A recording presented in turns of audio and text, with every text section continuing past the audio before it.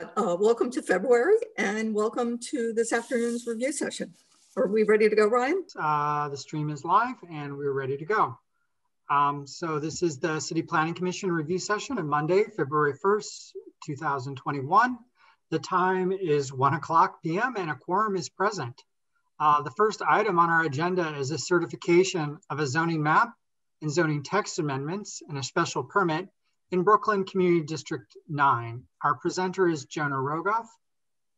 And before Jonah begins his comments, I want to note for the commissioners, for the commission, that as you know, when an application is complete, it's the practice of the department to certify it.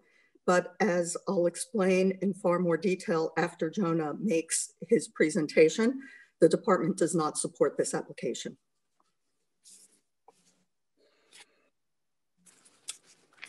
Great, thanks Marisa. Good afternoon, commissioners.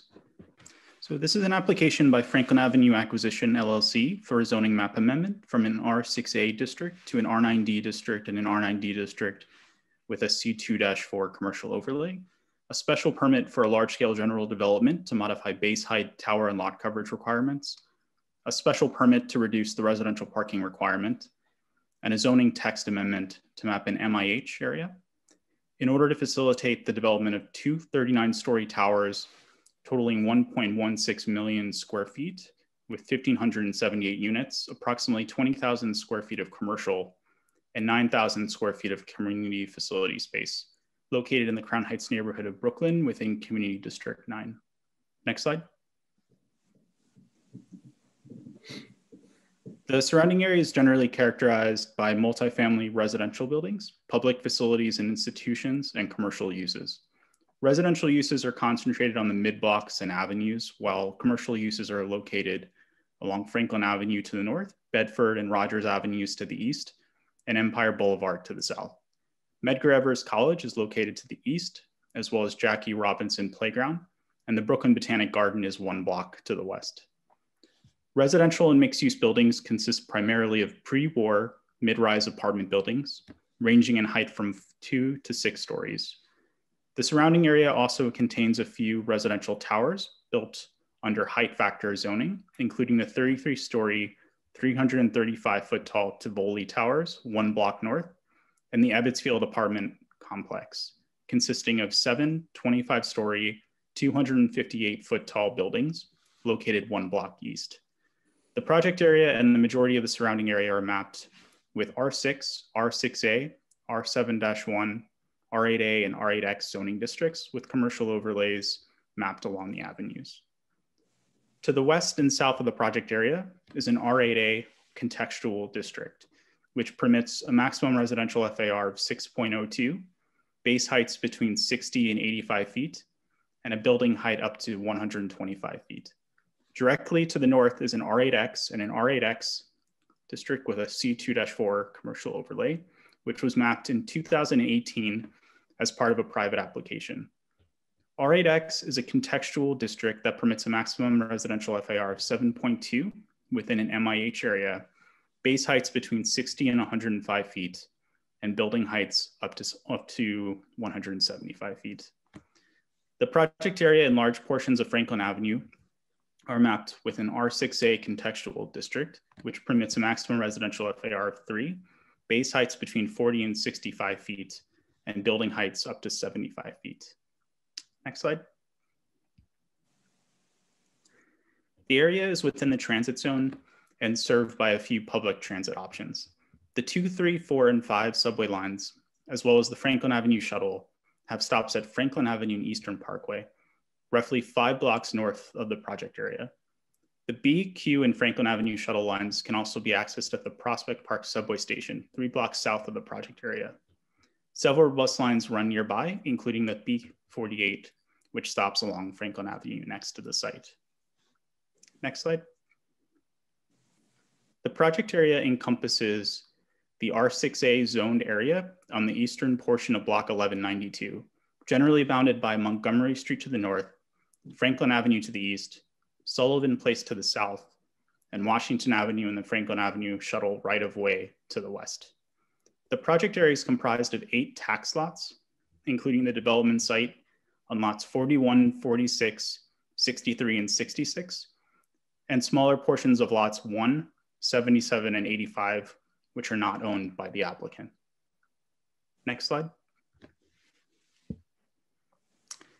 To help illustrate the project area and its context, here's a bird's eye view with the project area outlined in blue and the development site shaded in red. The non-applicant owned lots and the remaining lots on the block mainly consist of existing six to eight story apartment buildings, while a portion of the project area overlaps with a below grade open air rail cut that serves as a right of way for the MTA's Franklin Avenue shuttle. The Brooklyn Botanic Garden is located to the west, on just directly on the other side of Washington Avenue.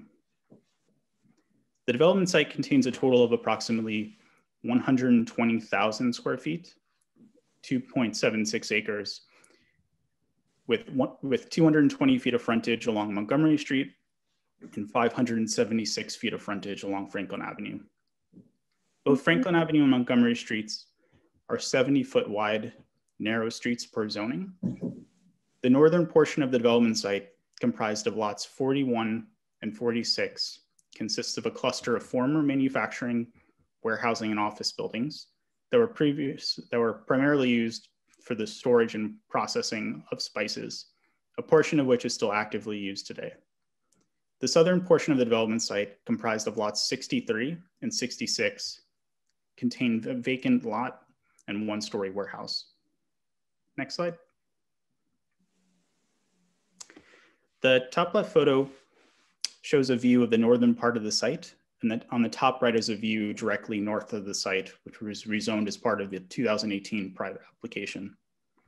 The bottom left photo shows Franklin Avenue with the Tivoli Towers apartments in the background. Next slide. Here's a view of the top left, uh, showing the site's Franklin Avenue frontage and the storage building used for spices. And then on the top right is the Jackie Robinson Playground located across the street. On the bottom left is a view of Montgomery Street looking east with the Ebbets Field apartment complex in the background. Next slide. Lastly, just a few more views looking east, showing the southern part of the development site with the adjacent apartment building to the south. Next slide.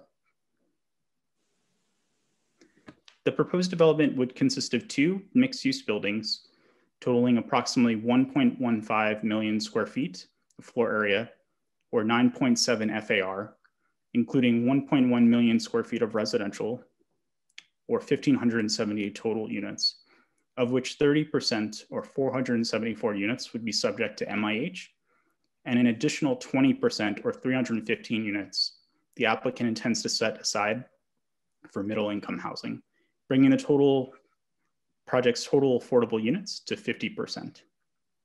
The proposed development would also contain, contain 20,000 square feet of commercial, 9,000 square feet of community facility use intended to serve as a daycare center, two parking garages accommodating 180 spaces, and a publicly accessible area located in the center of the site. Next slide. The project is proposed to be constructed as two separate buildings in two phases, consisting of building one on the southern portion and then building two on the northern portion, which would be divided by a 73 foot wide central court and driveway that provides internal circulation and access to the residential building entrances, as well as an open area with a few public realm design elements. Next slide. Here's an axonometric view to help show the proposed built form and massing. Building one would have a six story and seven story street wall along Franklin Avenue. The building would then set back 15 feet before rising to 17 stories and then set back another five feet before rising to 34 stories, after which there would be an 85 foot setback before rising to 39 stories with a building height of 421 feet. Building two would have an eight story street wall along Franklin Avenue and Montgomery Street. The building would then set back 15 feet before rising to 17 stories, followed by a 90 foot setback before rising to 34 stories. Another 85 foot setback is proposed along Montgomery Street before the building reaches 39 stories with a height of 421 feet. The widths of each tower would vary by building segment, ranging from 85 feet to 210 feet in length. Next slide. And just to further illustrate the proposed building massings, here's a, an elevation uh, showing the Franklin Avenue frontage and the attempts to articulate the street wall with various setbacks and tower portions of each building. Next slide. And then zooming out, here's a view of the previous elevation in the context of buildings on neighboring blocks as part of the neighborhood character diagram. The proposed development is shown in the center, which at 428, 421 feet tall, would be significantly taller than the four to six story buildings on other portions of Franklin Avenue, as well as Tivoli Towers and the Ebbets Field apartment complex. Next slide. And then turning the focus back to the development's ground floor plan, the applicant also proposes a publicly accessible area, or PAA, located in the central court and driveway. This area would have planters, benches, and other public realm amenities, and would be subject to certain hours of operations and maintenance standards. Next slide. Here's a rendering showing a pedestrian level perspective of the Franklin Avenue frontage with retail extending along the avenue. I'd also like to note that the entrance to the community facilities is proposed to be on the northern end of the site along Montgomery Street and is intended to be tenanted with a daycare center, which would also serve to partially mitigate um, an impact to publicly funded childcare facilities identified in the draft environmental impact statement or DEIS. Next slide. To facilitate the proposed development, the applicant seeks four land use actions. A zoning map amendment, two special permits related to a large-scale general development and waiver to reduce off-street residential parking, and a zoning text amendment to map a mandatory inclusionary housing area, or MIH area. Next slide.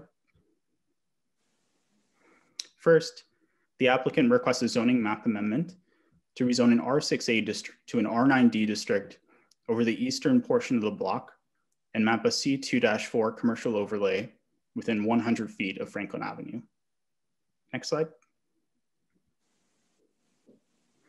R9D is a high density residential district that allows up to 10 FAR when mapped with an MIH area. Created as part of a 2009 area-wide rezoning near Yankee Stadium in the Bronx, R9D districts are intended to be mapped adjacent to elevated transit lines in order to allow buildings to set back from the street. In R9D districts, sites adjacent to an elevated train must maintain a, maintain a base height between zero to 25 feet. Otherwise, base heights can be between 60 and 85 feet. While R9D districts do not have a maximum building height, buildings over 85 feet must comply with tower regulations. Off-street parking is generally required for 40% of the market rate dwelling units and optional for income restricted housing units within the transit zone.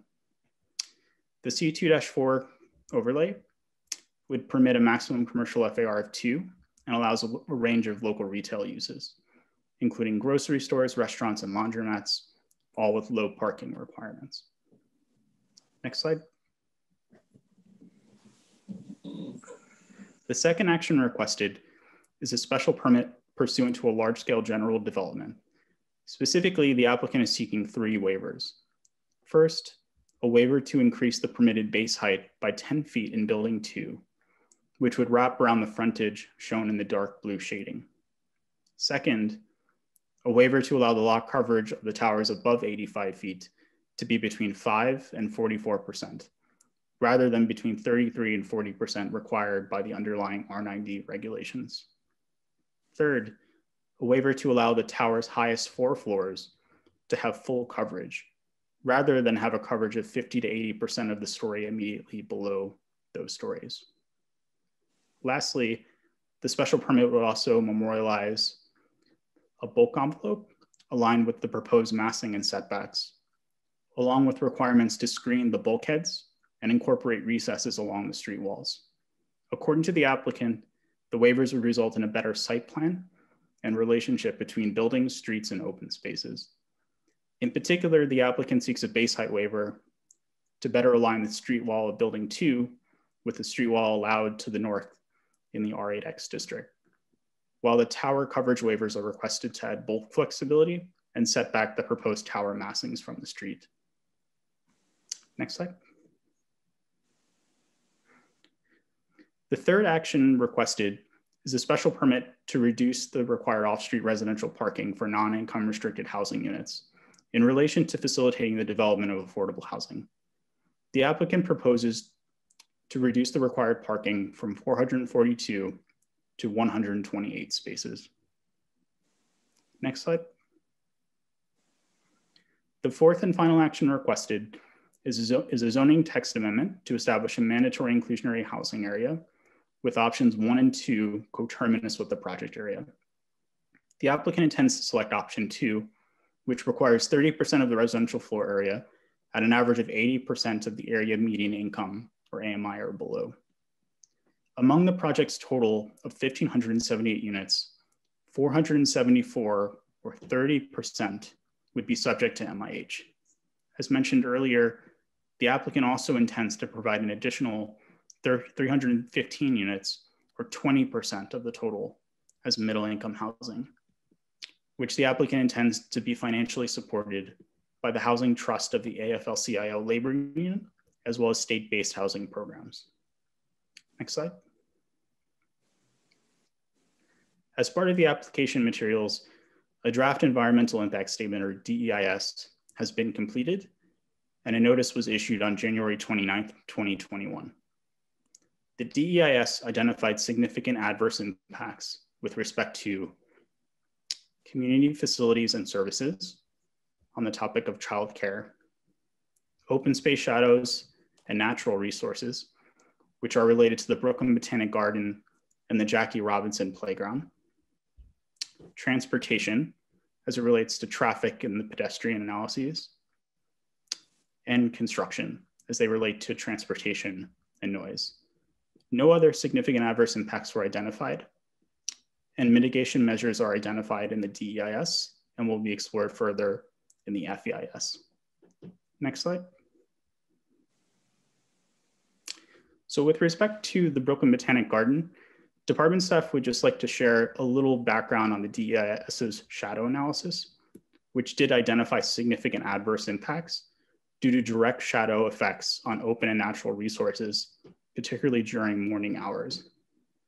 In particular, we'd like to call attention to the 22 sunlight sensitive facilities shown in the slide above, which includes conservatories, greenhouses, propagation spaces, and nurseries, which are clustered along the garden's eastern boundary. These facilities contain over 18,500 kinds of plants, many of which require full year-round sunlight and six to eight hours or more of direct sunlight per day. Next slide. And just in an effort to help visualize this, uh, we'd like to show a few analysis maps taken from the DEIS. So from the, for the March 21st and September 21st analysis days, the incremental shadow effect would last for three hours and five minutes from 7.36 to 10.41 a.m.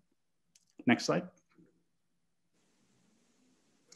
And then for the May 6th and August 6th analysis days, the incremental shadow would last for four hours and two minutes from 6.27 to 10.29 a.m. Next slide. And then for the December 21st analysis date, the incremental shadow would last for one hour and 54 minutes from 8.51 to 10.45 a.m. The June 21st analysis period, along with a more detailed shadow analysis of individual facilities and the Jackie Robinson Playground can be found in the full DEIS. Next slide. So that concludes our presentation. I'm happy to take any questions and I'll turn it over to the chair. Thank you. Thank you. Uh, before opening it up to questions from the commission, I want to note that while the department supports opportunities for housing growth and affordable housing especially, These goals have to be balanced by the appropriate building form and scale for the location. So on this topic, I wanna note the department's deep concerns with the project's bulk, tower width, and overall massing. R9D, as Jonah had explained, is a zoning district that's intended to be mapped in high density areas along wide streets and adjacent to elevated train lines. Specifically, C6 3D, which is R9D's commercial district equivalent, is mapped along River Avenue and 100 and east of 161st Street by Yankee Stadium in the Bronx, immediately adjacent to three subway lines and a Metro North station. 960 Franklin Avenue presents none of these conditions. The site is located on narrow streets over a quarter mile from a subway station.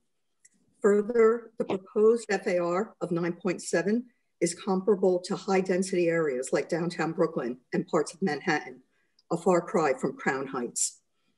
Additionally, the resulting building forms produced by the private applicant's proposed zoning district create a bulky base and a set of towers that are not sufficiently differentiated or articulated. Simply put, the private applicant is seeking way too much density for this site, leading to an overbearing envelope with no precedent and a development that's grossly out of scale with the surrounding context. I'll also call out that the private applicant's draft EIS contains a shadow analysis that demonstrates that the height and bulk of the towers would result in a significant adverse and unmitigated shadows impact on the Brooklyn Botanic Gardens greenhouses. These are unique and sensitive resources that are used to propagate plants and require full year-round sun, including sunlight during the winter months. Although the department finds that the application is technically complete and thus ready to certify, I want to assure the commission that department staff have repeatedly conveyed these concerns to the private applicant throughout the pre-certification process, concerns that were recently echoed by the mayor. As the project enters public review, we look forward to the comments and recommendations from the community board, borough president, and other stakeholders. But let me be clear, the department does not support this private application. And with that, I turn it over to the commissioners for questions. Commissioner Douek. Uh, thank you, Madam Chair. No, I, I believe you've said it all. Um, I, I, raised my hand prior to your comments, but uh, I'd like to join in with you on the comments. And uh, if anything, I mean, this looks to me more appropriate as an R8A. And just to correct it, uh, Jonah, the R8A is a 6.6.02, uh, but in with MIH, it would become a 7.2, and that surrounding area certainly implies that this project would be a maximum of an R8A. So I concur with the comments of the chair. Other raised hands. Vice Chair Knuckles. Thank you, Chair. Uh, I'm just wondering how many uh, units would be yield yielded uh, under the as of right R8A zoning. Is there a calculation on that? Uh, Commissioner, I don't have the exact number offhand. I'd like to get back to you on that. Um, just to clarify, the as of right would be R6A. So, ah, yeah. R6A. Okay. But it would be a reduction from 9.7 FAR to 7.2. Under the R8A, yes. Right. So about with uh, MIH. That's correct. Right. Well, I'd be interested in in in the the number just to just to know it under an R8A scenario. Thank you. Commissioner and, and Ken, I'll chime in. Just that'll be with a re significant reduction in height, also uh, under an R8A, which right. is most important. Right. Right. Okay. Commissioner Burney. Yes, I, I, had pretty much the same question actually. Jonas, did, did the department at any point model what an as of right development here would look like in terms of bulk and massing? I need to check with we did we have been working closely with our urban design urban designers. Um, uh, we haven't taken a close look at, but let me let me get back to you on that. Thank you, Commissioner Eaddy. All right. thanks again. Um, what is the FAR um, on Tivoli Towers and Ebbets Field Apartments? Do we have that information for comparison? I'm sorry, Commissioner, can you repeat that question? I'm sorry. Do we know what the density is, the FAR used on the uh, Ebbets Field apartments and the Tivoli um, towers? Those were built, for, uh, they were built pursuant to height factor under R7 uh, 1 or R72, I believe. Um, I need to check, but I believe that they maxed out those FARs. Um, it's calculated based on the amount of open space provided, um, but I believe it's roughly 3 point, I want to say 3.4. I know that that's consistent with the fact that frequently NYCHA campuses are the taller buildings in neighborhoods, but they tend to be relatively not dense because of the large yeah. amount of open space around the towers. But Agreed. Get... No, understood. And that's that was partly my point I wanted to make. Is that those are much lower densities, even though they are relatively tall buildings. Thank you. Um, Commissioner Ortiz. Hi, thank you. And, and also along the lines of Tivoli Towers, do we know, I mean, they're in a different location. Are they um, having the same shadow or similar shadow impacts um, owing to their height on the Brooklyn Botanical Gardens? No, so Tivoli Towers, they're, I would say that the, the distance is greater from the gardens um, but also the width of the towers are much narrower than what the applicant's proposing in 960 Franklin. Um, we, I don't have uh, a model of that, but you know, if that's something that would be helpful, we can take a closer look. No, I think I think that's the point that was important to me. Thank you. Any other comments from the commission? Yes, Commissioner Levin. Well, I guess I'm sort of sitting here quietly because mostly I agree with the comments that the chair has articulated. I got to say, I have never seen um, an environmental impact statement with such a stark, scary description of um, the open space impacts here, not only on the Brooklyn Botanic Garden, those are the really the eye-catching ones here, but also on the um, playground. And you know, the whole purpose of this environmental review, I guess, is now being revealed, which is that we as decision makers are supposed to look at what the impacts are and decide what to do about them. Um, this is really the first time I can remember sitting on this commission where I'm confronted with information in EIS that suggests that this should just be a non-starter. But the point of the ULURP process is to let the public tell us what we think before we say what we think. Um, so this is going to be a robust um, public process.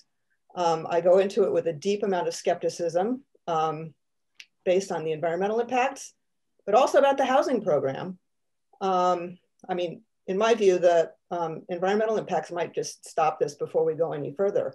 But I have a host of questions about the voluntary affordable component, how it can be made binding, um, and how it would be implemented um, and whether there would be truly equitable housing throughout the development. But that, in my mind, is a detail um, stacked up against the environmental concerns and the urban design concerns that the chair has already expressed.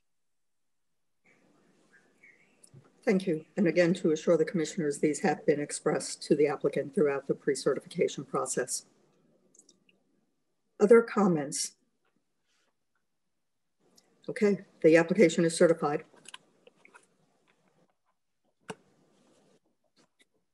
All right. The second item on the agenda is a certification of a special permit in Manhattan Community District 4. Our presenter is Nabila Malik.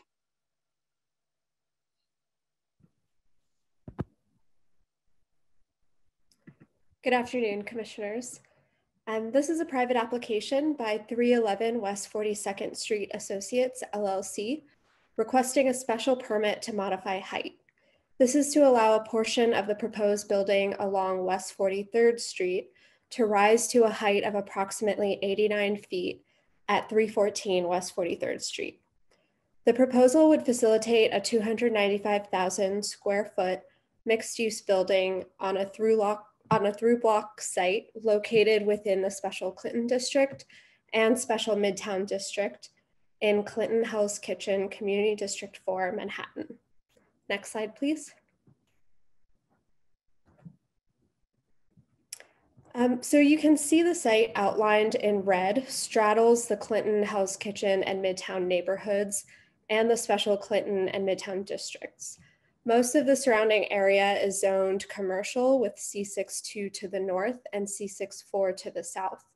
To the west of the site is the more residential area of Clinton, and to the east of the site is the more commercial area of Midtown. Immediately to the south of the, to the south of the site is um, Port Authority, the Port Authority bus terminal. Um, the development site is primarily a through block parcel located west of 8th Avenue between um, West 42nd and 43rd Streets with small interior lot portions on the east and west uh, portions of the site. The site contains three tax lots split between C62 and C64 zoning districts. Next slide. So now I'm going to walk you through a breakdown of the project site Lot 25, highlighted in blue, is improved within an existing 13 story, 62,000 square foot commercial building that was constructed in 1970. Next slide, please. Um, just, just some background on this, on this 1970 commercial building. Um, 1199 SEIU, the healthcare union, was located here on lot 25. They will remain the fee owner of lots 25 and 41 with the applicant Taconic as the ground tenant. SEIU relocated offices to Times Square last July. And as some of you may know, there's a large mural um, at the existing building on lot 25 the applicant had determined that the mural was too fragile to preserve and relocate.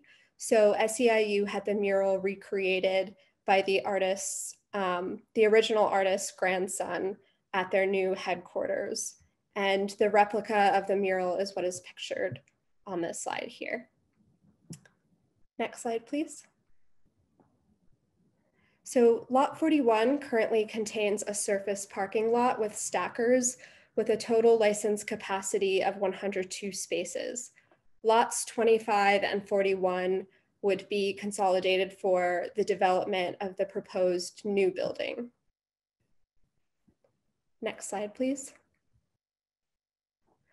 Lot 22 is improved with a five-story tenement building constructed in 1920 and containing commercial use on the ground floor and 14 residential units above it will be preserved as part of the proposal and um, the proposed development will be using development rights from lot 22.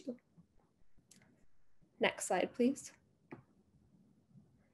So because the development site involves multiple zoning districts and special districts with different sub areas, I have broken the site down into lot portions below um, to describe applicable regulations. So um, lot portion A is the portion of the development site beyond 150 feet of 8th Avenue um, along West 43rd Street. It's within a C62 district in the preservation area of the Special Clinton District. The preservation area restricts the height of a building or portion of a building to no more than seven stories or 66 feet if located beyond 100 feet from a wide street. The special permit um, that is the subject of this application would modify this regulation. The special district also permits a maximum of 4.2 FAR in the preservation area and also requires that a minimum of 20% of the lot area must be usable landscaped open area for residents. Next slide, please. Lot portion B is the portion of the development site beyond 150 feet of 8th Avenue along West 42nd Street, and it's within a C64 district in perimeter area B and the 42nd Street perimeter area sub area one of the special Clinton district. This portion is not subject to the special permit and would be developed pursuant to the existing zoning regulations. The C64 zoning district, an R10 equivalent, permits a maximum FAR of 12 with voluntary inclusionary housing. A 40% tower lot coverage maximum is required pursuant to the underlying district tower regulations. Next slide. Lot portion C is the portion of the development site within 150 feet of 8th Avenue and is located within a C64 district in the 8th Avenue perimeter area of the Special Clinton District and also within the theater sub-district 8th Avenue corridor of the Special Midtown District. The maximum FAR allowed in this portion is 12 pursuant to the Special Midtown District regulations. This portion is also not subject to the special permit waiver and would be developed pursuant to the existing zoning regulations. Next slide, please. The proposed development consists of a mixed use building located on lots 25 and 41. In total, the proposed development would contain 295,000 square feet of floor area, including approximately 21,000 square feet of unused development rights from lot 22. The proposed development would contain 25,000 square feet of commercial use and 270,000 square feet of residential use with 321 residential units, 81 of which will be affordable to households with incomes ranging from 40 to 120% of the area median income. The development would also consist of two building segments separated by a rear yard equivalent with a minimum depth of 60 feet in the form of a landscaped garden, which would provide the required open space. The garden will be available for use by all residential tenants. The northern segment along West 43rd Street contains the northern half of lots 25 and 41, and the southern segment along West 42nd Street contains the southern half of lots 25, 41, and 22. Next slide, please. The southern portion of the proposed development is not subject to the special permit waiver and will be constructed pursuant to the current zoning regulations. It will have approximately 31 stories, and as currently proposed, the illustrative building will rise to an approximate height of 399 feet with bulkhead. The tower will have a lot coverage of 23% of the entire development site. The southern building segment would contain approximately 244 residential units 49 of which would be affordable to households with incomes ranging between 40 to 120% AMI. The ground floor and second floor of the southern portion of the building will contain retail uses, and the building is also expected to contain additional amenity space on the second, fourth, and 31st stories. No changes are proposed for the lot 22 portion um, of the zoning lot, which is the tenement building. Next slide, please. The portion of the northern building segment within lot portion A would contain a total of 63,000 square feet with 54,000 square feet of residential use and 9,000 square feet of retail use. The northern building segment would contain approximately 77 residential units 32 of which would be affordable, um, affordable housing. The portion of the northern building segment within lot portion A, which is the subject of the requested special permit, would contain seven stories and rise to a maximum height of 89 feet, as opposed to the permitted 66 feet.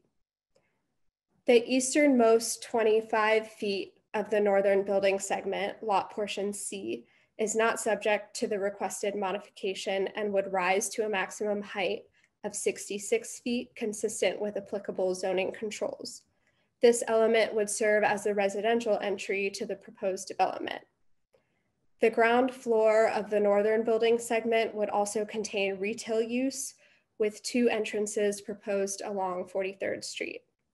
A curb cut for vehicular access to a commercial loading dock would um, be located along 43rd Street at the western end of the development site. Next slide, please. The applicant seeks a special permit pursuant to the Special Clinton District Preservation Area regulations that allow the CPC to modify height and setback requirements. The maximum height in the preservation area beyond 100 feet of a wide street is 66 feet and can be modified to a maximum of 99 feet. The applicant is proposing a height of 89 feet. As you can see in this section here, um, it's the dark gray shaded area that is being waived. The applicant indicates that the additional height facilitated by the requested waiver would allow for a retail base for the proposed development with an approximately 17 foot floor to ceiling height, allow for additional floor of residential use, and allow for a more generous floor to ceiling height for residential tenants than would otherwise be provided within the applicable height limits. Next slide, please.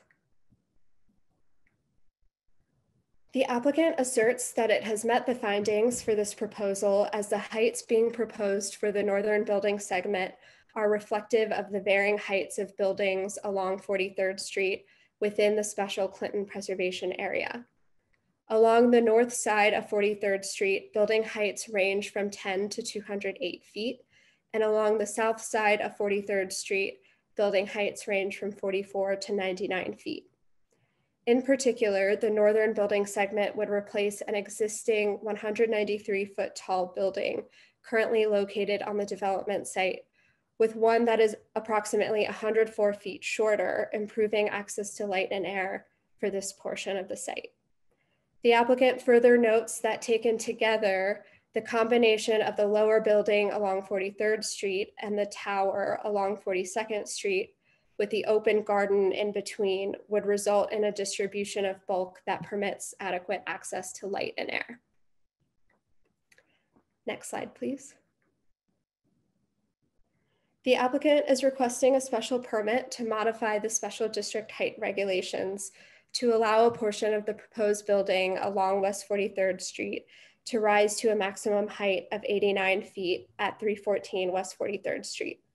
The proposal would facilitate a 295,000 square foot mixed use building. Thank you. Thank you, Nabila. Questions from the commission? Commissioner Levin. Um, yes, Nabila, congratula congratulations on a very elegant job of, of, of unpacking the very complicated um, zoning rules in the special Clinton district, particularly along these you got not one, but two peripheral areas. So very nicely done. Um, has I have two questions. Has the applicant been consulting, uh, previously discussed this proposal with Community Board 4? And um, secondly, what, what programs are they using to achieve the affordable housing in the, the two buildings? I notice in particular the one in the northern building has a rather more affordable housing units than, you know, proportionately typically we would see? How are they doing that? Sure. Um, so the the applicants have uh, consulted Community Board 4. Um, they they spoke to them as recently as October, um, and the the board had um, you know particular questions about affordable housing as well as um, making sure that there was um, appropriate loading available for the building. Um, in terms of the way they are doing the affordable housing, um, it's voluntary inclusionary housing and they're not seeking any subsidies. Um, and they're going to do the Affordable New York program, option E. Okay. Good. Thank you. Mm -hmm. Vice Chair Knuckles. Thank you. I'm just curious. Uh, earlier in your present, uh, presentation, uh, you indicated a, uh, designated architect for the open space.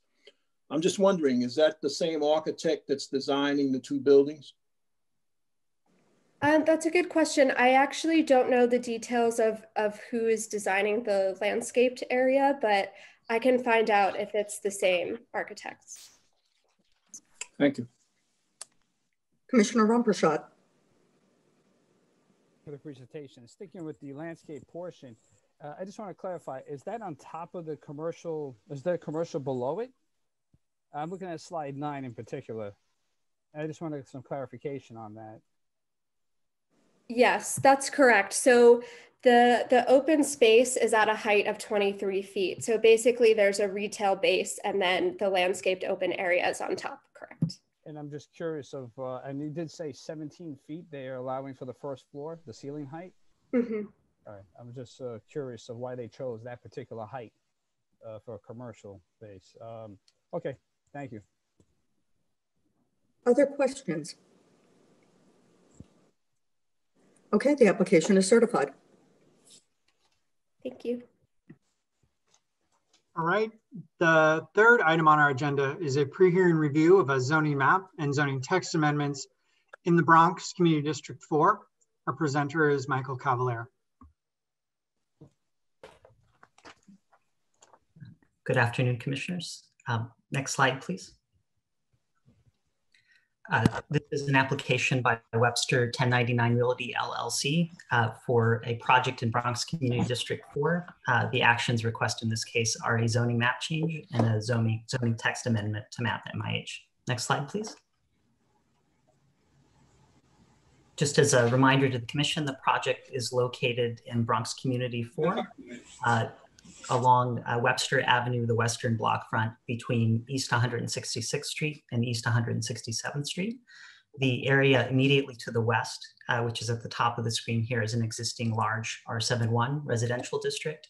And the area immediately to the east, which is in the lower uh, portion of the screen and which includes the project site, is an existing M11 uh, district. Um, there, uh, as a reminder, there are a number of um, uh, tra transportation assets in the area, apologies, um, including the SBX 41 that runs along Webster Avenue, uh, the SBS 6, which runs along 161st Street to the south, as well as um, a D uh, stop uh, just immediately to the west, about half a mile from here. Next slide, please. Again, uh, there are two actions requested in this case. Uh, the first is a zoning map change to rezone the area from an existing M11, R71, and R71 with a C14 overlay to an R7X uh, with a C24 overlay. Uh, just a reminder of subtlety here, while most of the site is an existing M11, uh, district, uh, given the 100 foot mapping from uh, Webster Avenue and the uh, smaller depth of the block here, uh, a slight sliver at the back of the lot of about 10 feet captures the R71, R71, C14 at the back of the lot and is the reason for those. Next slide, please.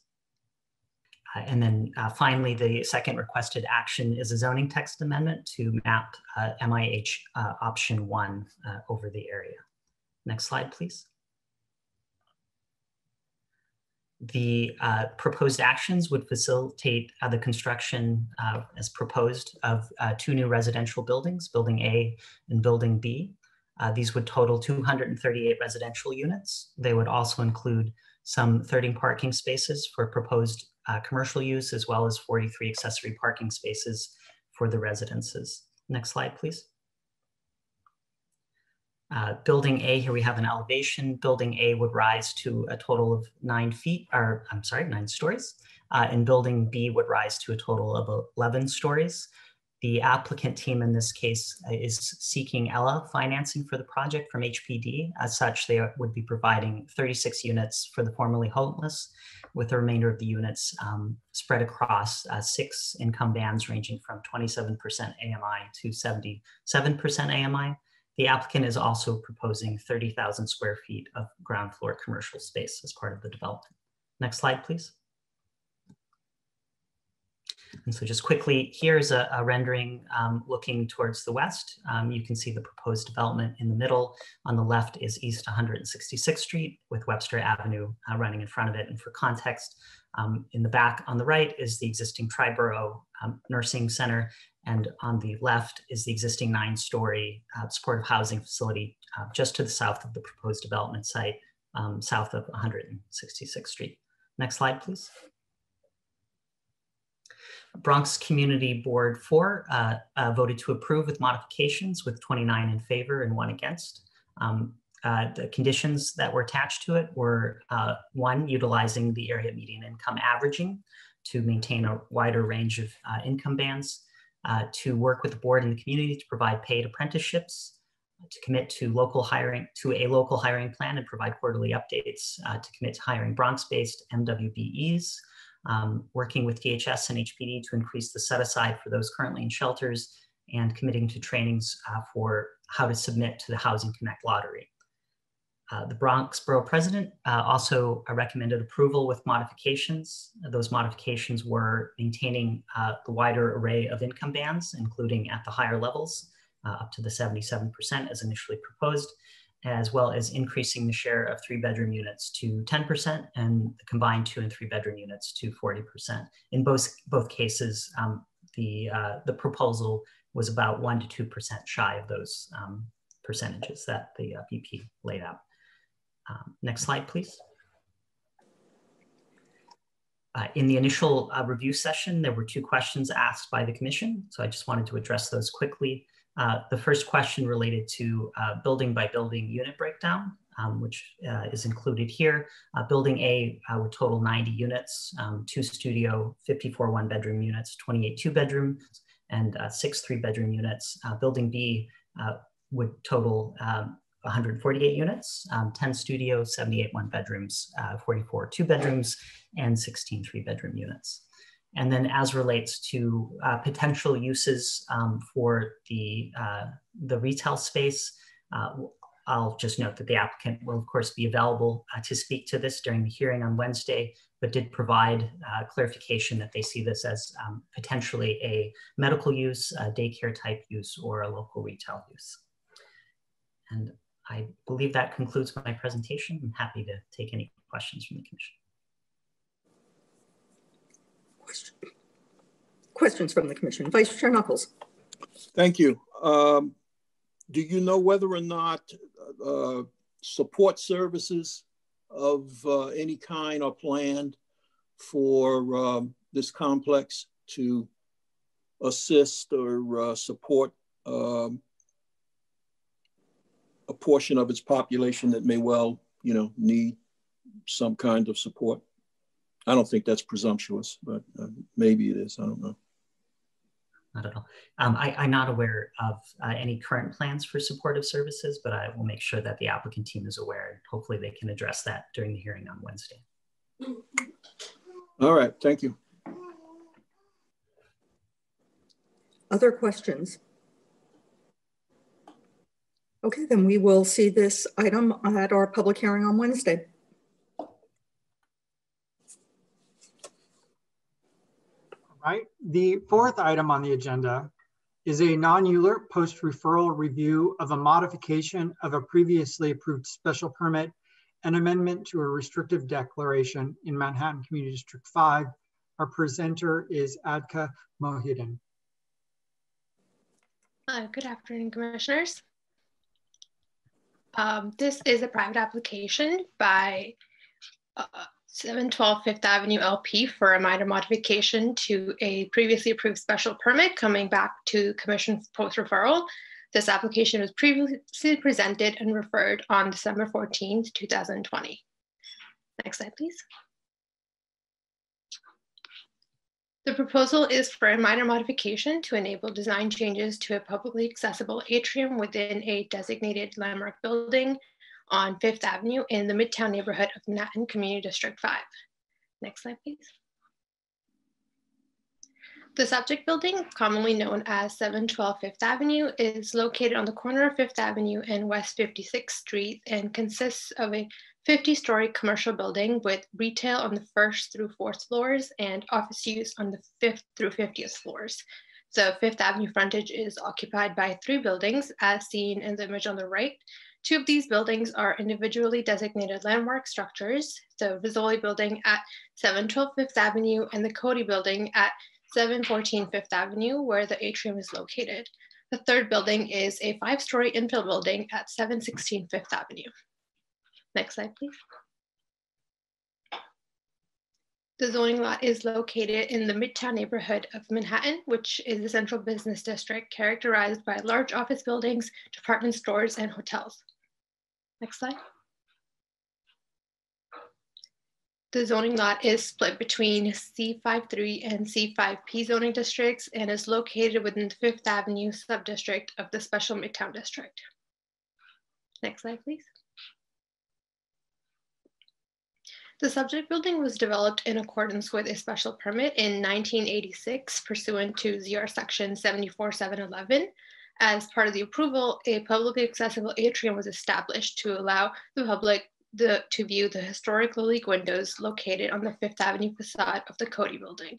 There were subsequent minor modifications in 1987, 2004, and 2008. Next slide, please. As a result of these modifications, the existing atrium has viewing paths along its side to provide the public an opportunity to view the historic Lalique windows.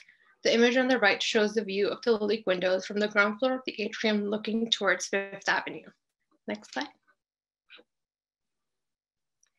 These images provide a look inside the atrium and the viewing paths around it. Next slide, please. The images here show a close-up of the windows depicting the interlocking vines and flowers as designed by the renowned French glass designer René-Jules Lalique in 1912. Next slide, please. The proposed redesign of the atrium will reestablish the, demising wall between the Coty building and the infill building. As a result, the northern viewing paths will be removed and the existing ADA compliant elevator will be relocated next to the atrium within the Coty building. This would allow Harry Winston, currently located at 718 Fifth Avenue, shown in gray, to lease and occupy space in the 716 Fifth Avenue infill building by internally connecting the two buildings. Next slide. The proposed redesign will also remove two catwalks that pass in front of the Lalique windows on the third and fourth floors and reconstruct the second floor catwalk to be ADA accessible. Internal lighting and signage will also be updated. Next slide, please. As you can see in these renderings, comparing the existing and proposed atrium view, the removal of the third and fourth floor catwalks and reconstruction of the second floor catwalk with thinner and more translucent material would increase the visibility of the windows from the atrium's ground level and improve the public's space. Next slide. The Landmarks Preservation Commission reviewed the proposal as well and issued a certificate of no effect for the interior improvements and a permit for minor work for an updated exterior pop signage. Next slide. This application was referred out for 45 days on December 14, 2020. On January 14, 2021, Community Board 5 voted to approve the application with a vote count of 39 in favor and one abstaining. Next slide, please. In summary, the applicant is seeking approval of a minor modification to make interior design changes. This is a minor modification because the proposed modifications would not affect the basis of the previous CPC approvals or the findings made at the time of the original special permit. The proposal is brought to the commission because the proposed modifications change the approved plans, which can only be achieved through a minor modification. This concludes my presentation. Thank you for your time and happy to answer any questions. Thank you, Oscar. Questions from the commission? Okay, then I will ask for a approval to send a letter to the buildings department, letting them know that we have deemed this a minor modification. All in favor? Aye. Aye. Aye. Any opposed? Aye. Okay, we'll send the letter. Aye. Thank you. Okay, uh, so the fifth item on the agenda is a non-ULURP post-referral review of an authorization in Manhattan Community District 5. Our presenter is Connor Clark.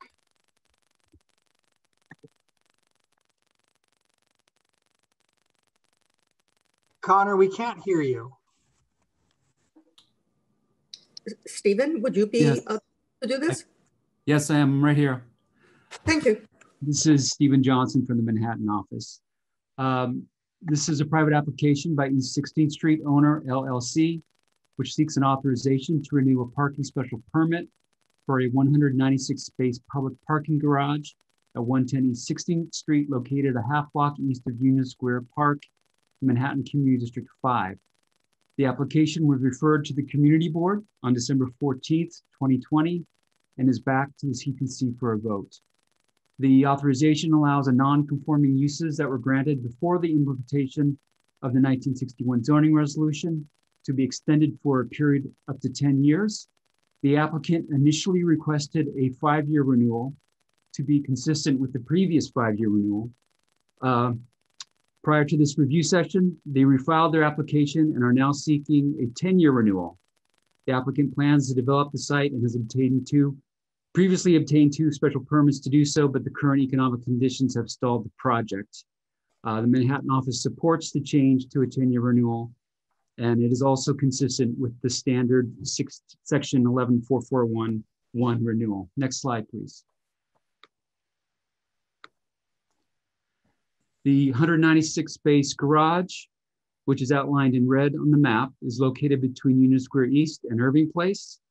The development site is the zoning lot that encompasses lots 74 and 10, outlined in the white dotted line on the map.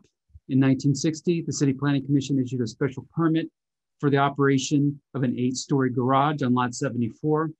The special permit has been renewed four times since, most recently in 2017 for a term of five years. Uh, the 2017 five-year renewal expires on March 9th. Next slide, please. The area map shows the development site is located in the C6 2A contextual zoning district, and it is surrounded by a mix of uses. Next slide, please. These photos show the entrances uh, to the garage with the fabric screening on top. Next slide, please. Uh, the site plan shows the development site with the garage located on the lot on the right side of the slide. The garage has a 10 foot wide curb cut and a 35 foot wide curb cut providing access to multiple access lanes. Next slide, please. So this slide shows the parking plan with the ground floor on the left and second floor on the right. It is an attended facility with two elevators. Next slide, please.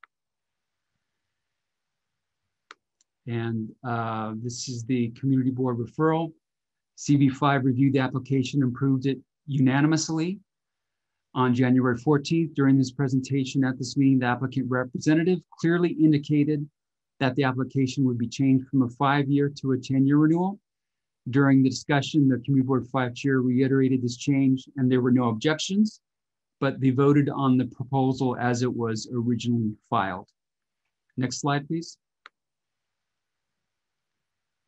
And this is the zoning resolution text related to the authorization, and I'm happy to take any questions. Thanks for filling in, Stephen. Hello, can you guys hear me now? Yes, we can. So okay. you're Great. All right. I can answer questions or Steve can. Any questions? Okay, it looks like you're off the hook, Connor. And right. uh, sorry about that. no worries. Um, and we will be scheduling this for a vote. Thank you. Okay. Thank you. Uh, the sixth item on the agenda is a pre-hearing review of a zoning map and zoning text amendments in Manhattan Community District 1. Our presenter is Allison Brown. Good afternoon, Commissioners. The Trust for Governor's Island, known as the Trust, and the Department of Small Business Services seek a zoning map amendment and zoning text amendment. This project was first presented to the Commission and referred to the public on October 19th, 2020. Today, I'll provide a very brief recap of the proposed actions as previously discussed, and I will share the Manhattan Community Board 1 and Manhattan Borough President's resolutions and recommendations on this project. The actions as described, oh, sorry, uh, next slide, please. The actions as described in October remain the same. The trust proposes to expand the Special Governor's Island District to the South Island, to create new controls pertaining to the South Island, and to change the underlying zoning on the South Island from an R32 to a C41 mid-density commercial district. The trust proposes these actions in order to allow the establishment of development of three, 34 acres with up to 4.275 million square feet of development, and to allow a variety of uses such as academic and cultural institutions, research centers, commercial office space, hotels, and community facilities. The goal of these actions include promoting the use and enjoyment of the island as a regional destination for recreational and commercial activity, protecting and expanding the existing publicly accessible open space, and providing opportunities for development with connections to and appropriate relationships with the existing public open areas and historic district. Next slide, please.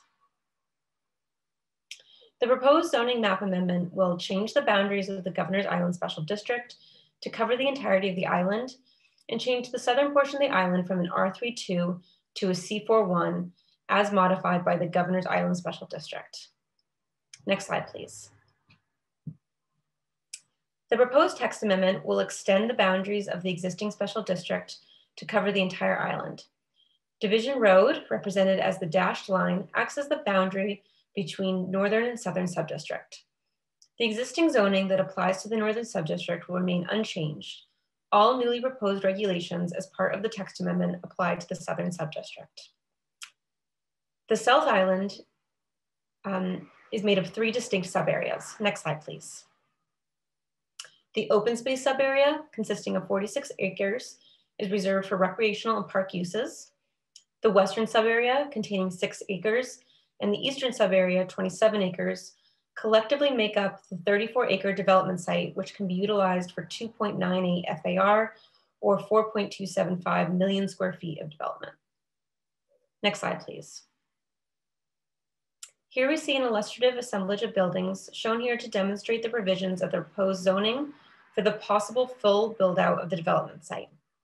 In the following slides, I will talk through the various bulk provisions that led us to this assemblage. Next slide, please. First, in addition to the public open space that the Esplanade and Park provide, there are several opportunities for additional open public spaces within the development site prescribed in the text.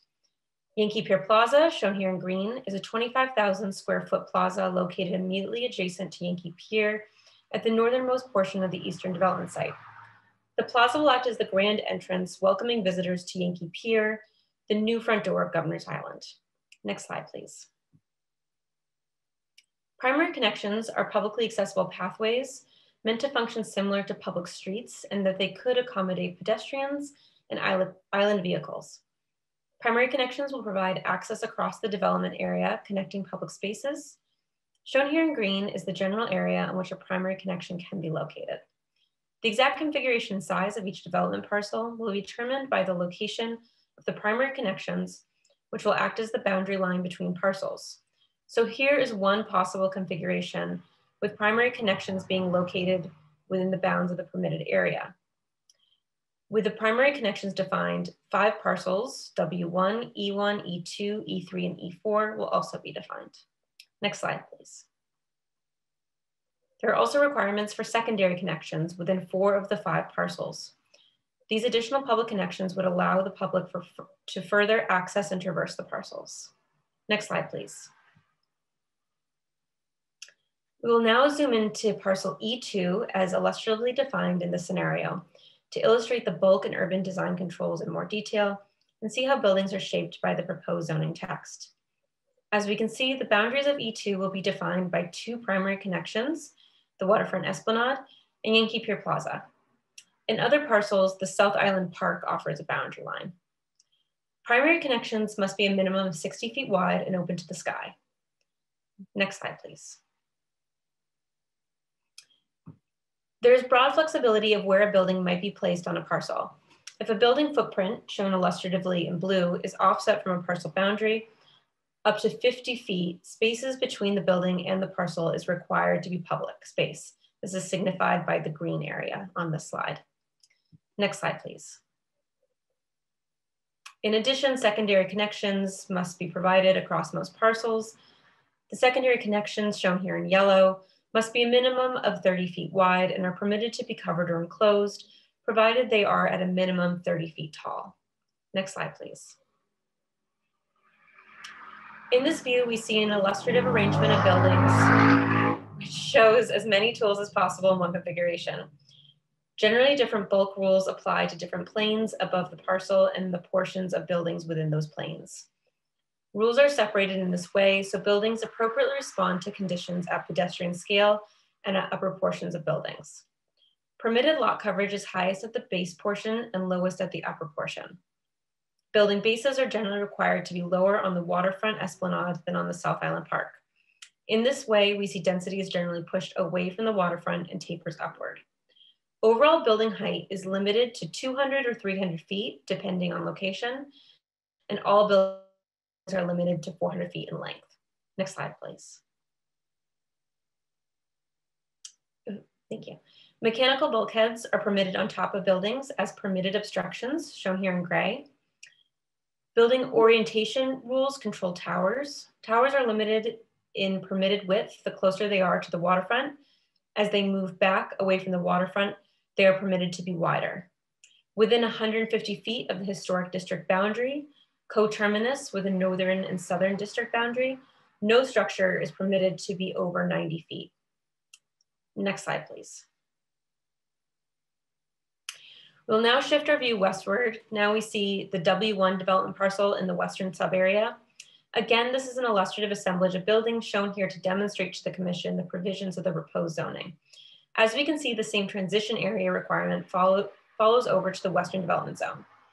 The upper portion of the building in W1 is limited in size and location with regulations generally pushing a tower to the northeastern area of the parcel to ensure that the floor plate is appropriately scaled and oriented to promote views to lower Manhattan. Next slide, please. And then jumping back to the Eastern Development Zone, a few final urban design details to note. Articulation rules apply for every building frontage more than 200 feet in length. The street wall facing Yankee Pier Plaza has special rules in regards to street wall continuation and transparency. And transparency rules also apply uh, to the entrances of enclosed secondary connections, which is shown in orange. Next slide, please. So zooming out again, we see the full island with the full 4,275,000 square feet of development across both development zones shown in an illustrative assemblage. On a full scale, we see that the many bulk controls allow for flexibility and many varied building forms while ensuring the protection of ample open space and circulation space. Next slide, please. Here we see a breakdown of the proposed density by use. To note, the the FARs shown are calculated solely from the area within the development site, 34 acres. As noted at referral, previous studies related to park construction and the 2013 North Island rezoning described a South Island development of 1.6 million gross square feet. This projection was based on the scale of the former Coast Guard facilities on the South Island and was a density associated with this particular institutional use. The 2013 EIS described the 1.6 million gross square feet as illustrative for purposes of analysis. The trust attests that the scale of the development proposed as part of the current South Island zoning application represents what is needed to simultaneously attract a major anchor tenant and to create a critical mass of diverse uses that, without permanent residential opportunities, is needed to create a lively 24-7 year-round district. To note, the existing deed currently prohibits certain uses such as heavy manufacturing, permanent residence, and casinos on the island. Therefore, the proposed residential use is proposed to enable the development of faculty residences and the like. Next slide, please. The trust notes that, that the desired tenant mix are uses consistent with those allowed in the island's deed, educational, nonprofit, and commercial facilities. Although no specific tenancies have been identified for the South Island, as there will be identified by a future public solicitation in an RFP process, the special district zoning was specifically tailored to support a mixed use 24 seven district. DCP and the trust remain in active discussions in regard to DCP's and City Planning Commission's ongoing consultation throughout the RFP process, and we will return to the commission post-hearing to provide further details. Next slide, please. The proposed text allows up to 150 spaces of parking for both the eastern and western development site, allowing for a total of 300 parking spaces on the South Island. The trust states that they are committed to keeping Governor's Island a pedestrian and bike-centric destination. Some vehicles are and will be needed for both to support the trust's operations, maintenance and security, and for similar need, needs for future large tenants. The trust's current operation requires maintaining a fleet of approximately 50 vehicles. Next slide, please. Proposed signage regulations will follow the rules of the underlying C4 district, except that no flashing signs are permitted. Next slide, please.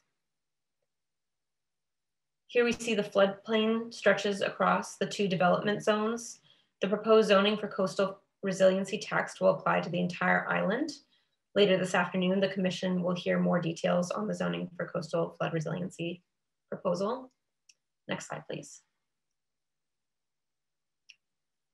The text provides for various actions, some required in all development scenarios and some optional for relief. A chair certification is required before a potential developer can obtain building permits in order to establish the parcel locations, boundaries, elevation, and location of additional public spaces within. Further actions allow relief of provisions from the zoning. Next slide, please. A DSS GEIS was conducted with the Office of the Deputy Mayor of Housing and Economic Development acting as lead agency. The EIS identifies significant adverse impacts related to transportation. The transportation impacts are related to traffic, pedestrians, and transit. Regarding traffic, the environmental review identified the potential for significant adverse traffic impacts at 14 intersections, which could not be fully mitigated through standard mitigation measures.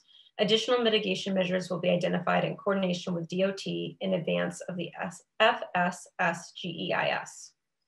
Regarding transit, the environmental review identified the potential for significant adverse impacts at three different stairways at varying peak hours at the Whitehall Street South Ferry Station. Additionally, potential impacts were identified at two stairways and one escalator at the Bowling Green Station. Discussions with New York City Transit are being undertaken regarding mitigation measures and will be described in the FSSGEIS. Finally, regarding pedestrians, potential significant adverse impacts were identified for sidewalks, street corners, and crosswalks in Manhattan. No impacts were identified in Brooklyn, the majority of these impacted elements could be mitigated through standard measures. However, three sidewalks and 10 crosswalks could not be mitigated through standard measures, and additional measures will be identified in coordination with DOT in advance of the FSSGEIS. Next slide, please. On December 22nd, Manhattan Community Board 1 voted 26 in favor, 3 opposed, 7 abstained, and 2 recused on a resolution to disapprove the proposed applications unless conditions are satisfied.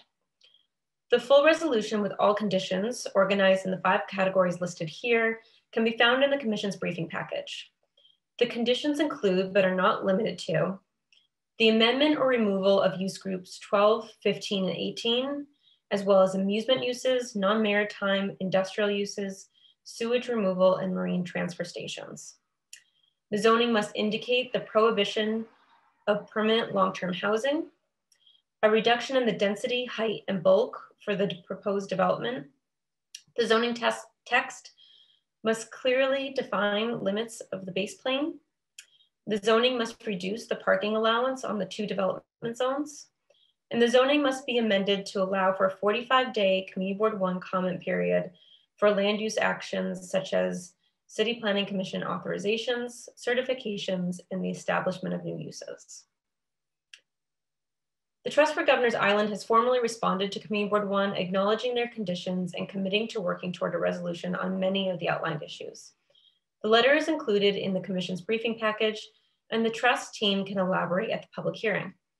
In the letter, the Trust commits to further limiting permitted uses in the open space subarea and further reducing the height of permitted obstructions, as well as amending the methodology of the base plane measurement to provide clarity and predictability in development outcomes. In regard to the condition of the prohibition of permanent residential use, it is necessary to maintain the permitted existing 0.5 FAR of residential use as defined by zoning to allow for the deed permitted emission supportive uses such as faculty residencies, artist residencies, and caretaker facilities. The Trust understands Community Board 1's concerns about the potential for future permanent residential housing after the year 2060 when this deed prohibition expires. Unfortunately, the zoning text with a broad definition of residential use cannot both allow for the development of the temporary residencies desired and permitted and also prohibit permanent residential uses. Therefore, the trust will be making a commitment to Manhattan, Manhattan Community Board 1 outside of the zoning text, confirming that this at this time, there's no intent to construct permanent housing after the deed prohibition expires, and further committing that after the expiration of the deed's use prohibitions in the year 2060, that any future proposal for new residential uses other than those currently permitted by the deed would be subject to robust public review and comment by Community Board 1. As the City Planning Commission requested, the application was also referred to Brooklyn Community Board 2 and Brooklyn Community Board 6. Community Board 6 held a public hearing, but neither community board passed a resolution on the proposed application. Next slide, please. The Manhattan Borough President held a public hearing on the proposed project on January 20th. The Borough President provided the Commission with a recommendation of disapproval of the application. The Borough President's recommendations echoes those concerns raised by the community, highlighting the desire for reduced building heights, resiliency planning in light of proposed uses, and the need to preserve those aspects of the island that make it great today, its existing tenants and pastoral landscapes. The full recommendations, as well as the further as well as further details on the conditions of the recommendation can be found in the commission's briefing package. Next slide, please. So this concludes the presentation. Clare Newman, who made a special presentation to the commission on October 5th, as well as other members of the trust team, will be here to answer any further questions the commission may have on Wednesday, February 3rd at the joint hearing for the EIS and ULURP. Thank you for your time. Thank you, Allison. Questions from the commission?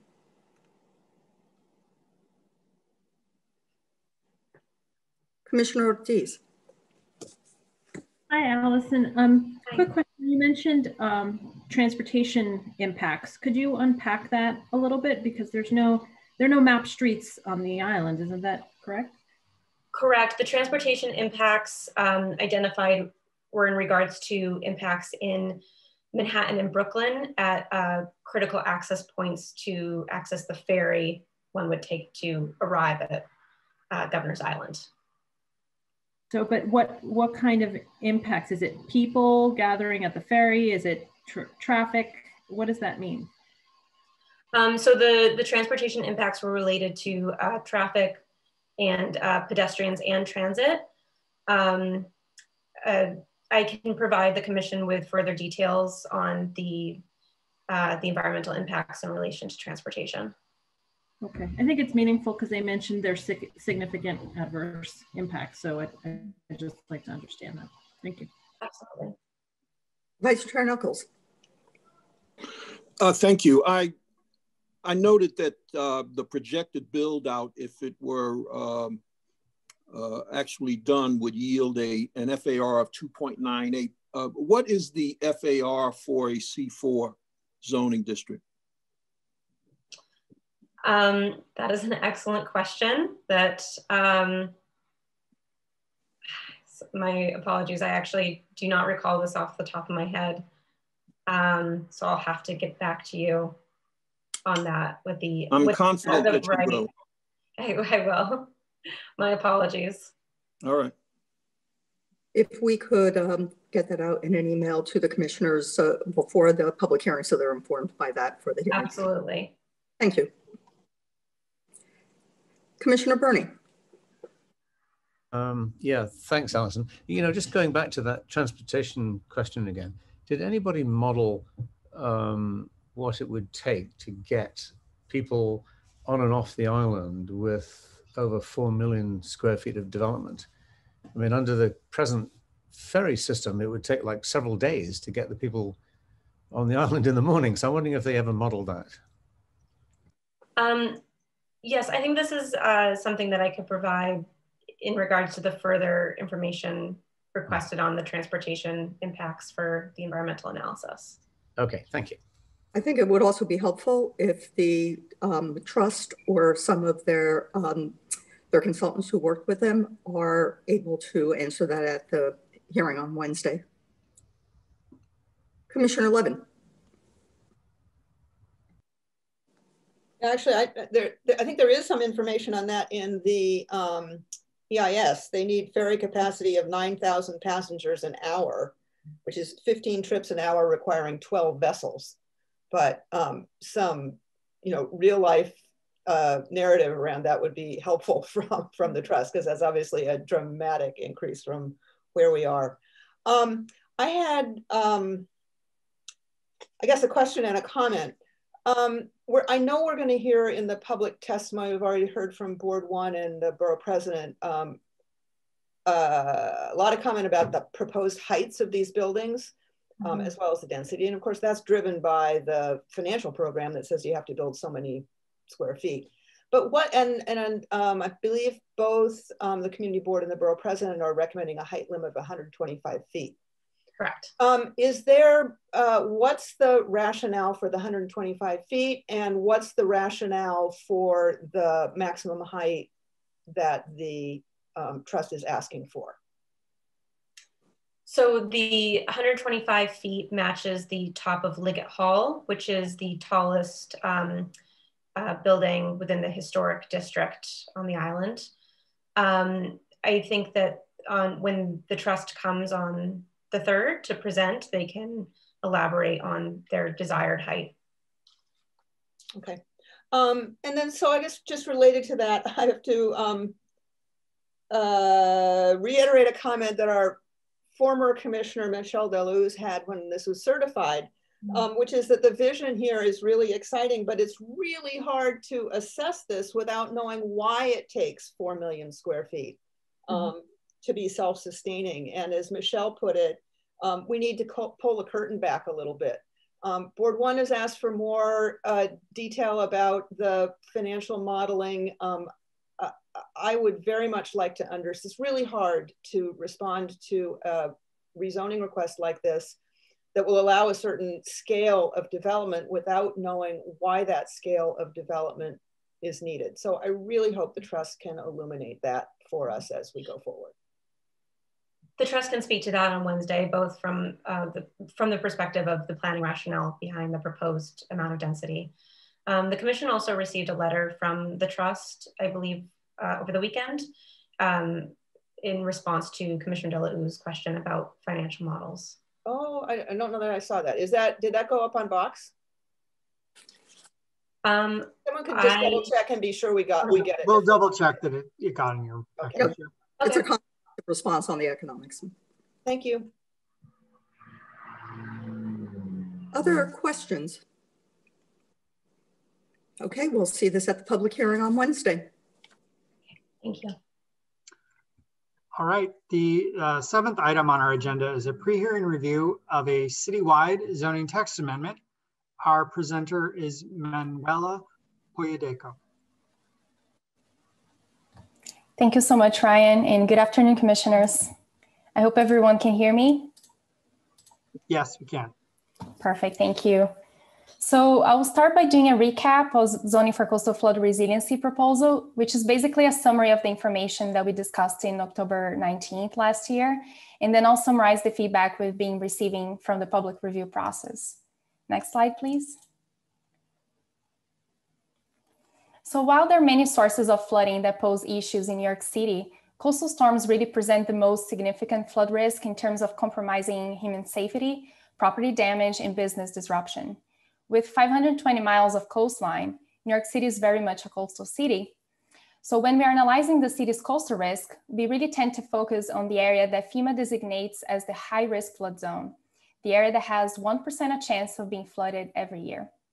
However, in 2012, Hurricane Sandy awakened us to a more widespread risk by inundating well beyond that area. Close to half of the properties that are technically classified as being moderate risk of flooding or having a 0.2% chance of flooding were inundated. In the two year areas combined, we have almost a million New Yorkers living at risk of being flooded by a coastal storm. And with climate change, the floodplain will continue to expand. By the 2050s, today's moderate risk flood zone will likely be high risk for flooding in the future. Next slide, please. So the city's floodplain includes a variety of neighborhoods that face different challenges when trying to stay safe and meet current flood risk regulations. In addition to being home to so many New Yorkers, The floodplain is also where many businesses critical to New York's economy and residents' daily needs are located. Next slide. So to the wide range of challenges that come with flood risk adaptation, we really need to pursue a strategy that involves multiple lines of defense.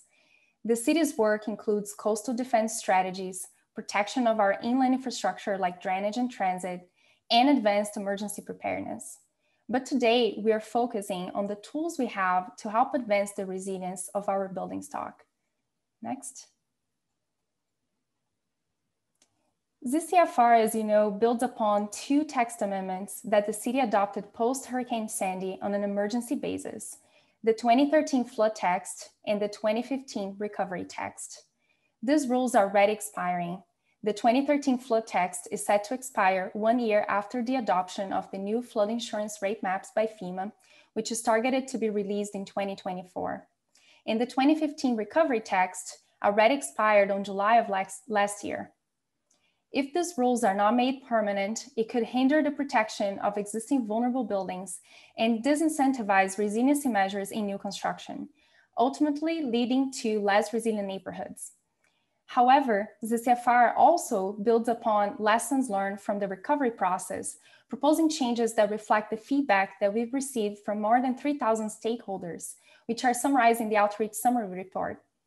Ultimately, the CFR will be encouraging resilient buildings and would help those living and working in the floodplain to reduce damage from future coastal flood events, be resilient in the long term by accounting for climate change, and potentially save on long-term flood insurance costs.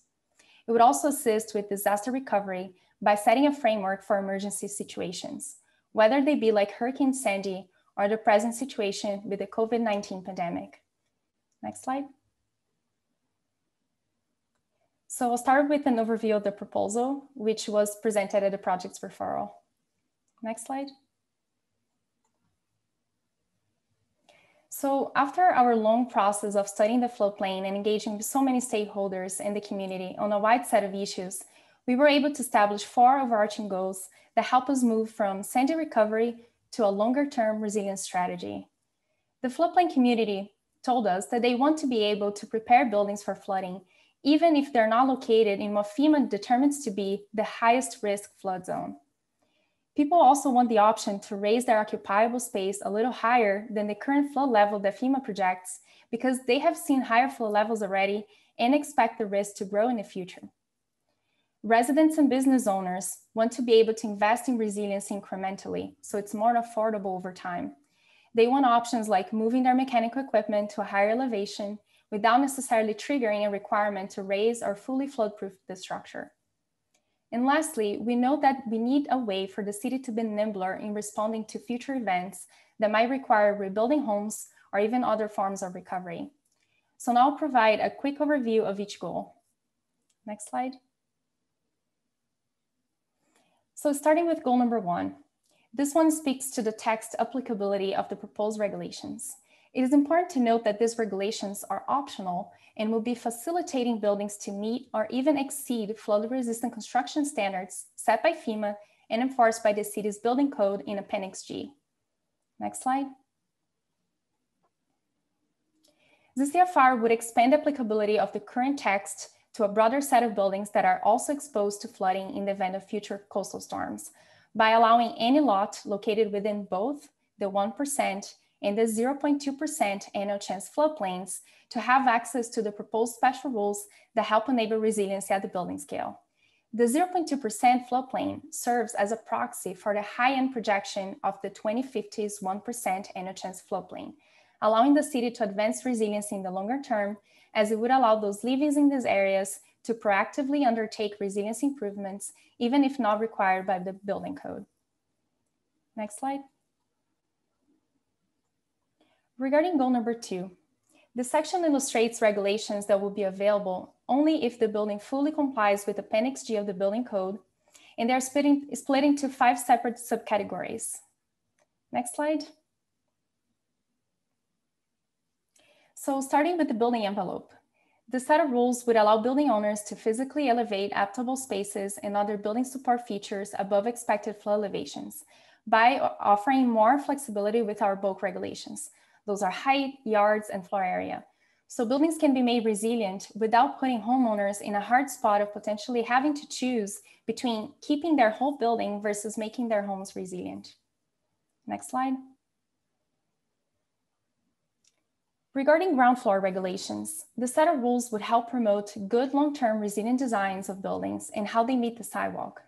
Through floor exemptions, the proposed rules would encourage internal access and active uses to be capped at the sidewalk level as much as possible for floodplain communities to continue to be vib vibrant and accessible.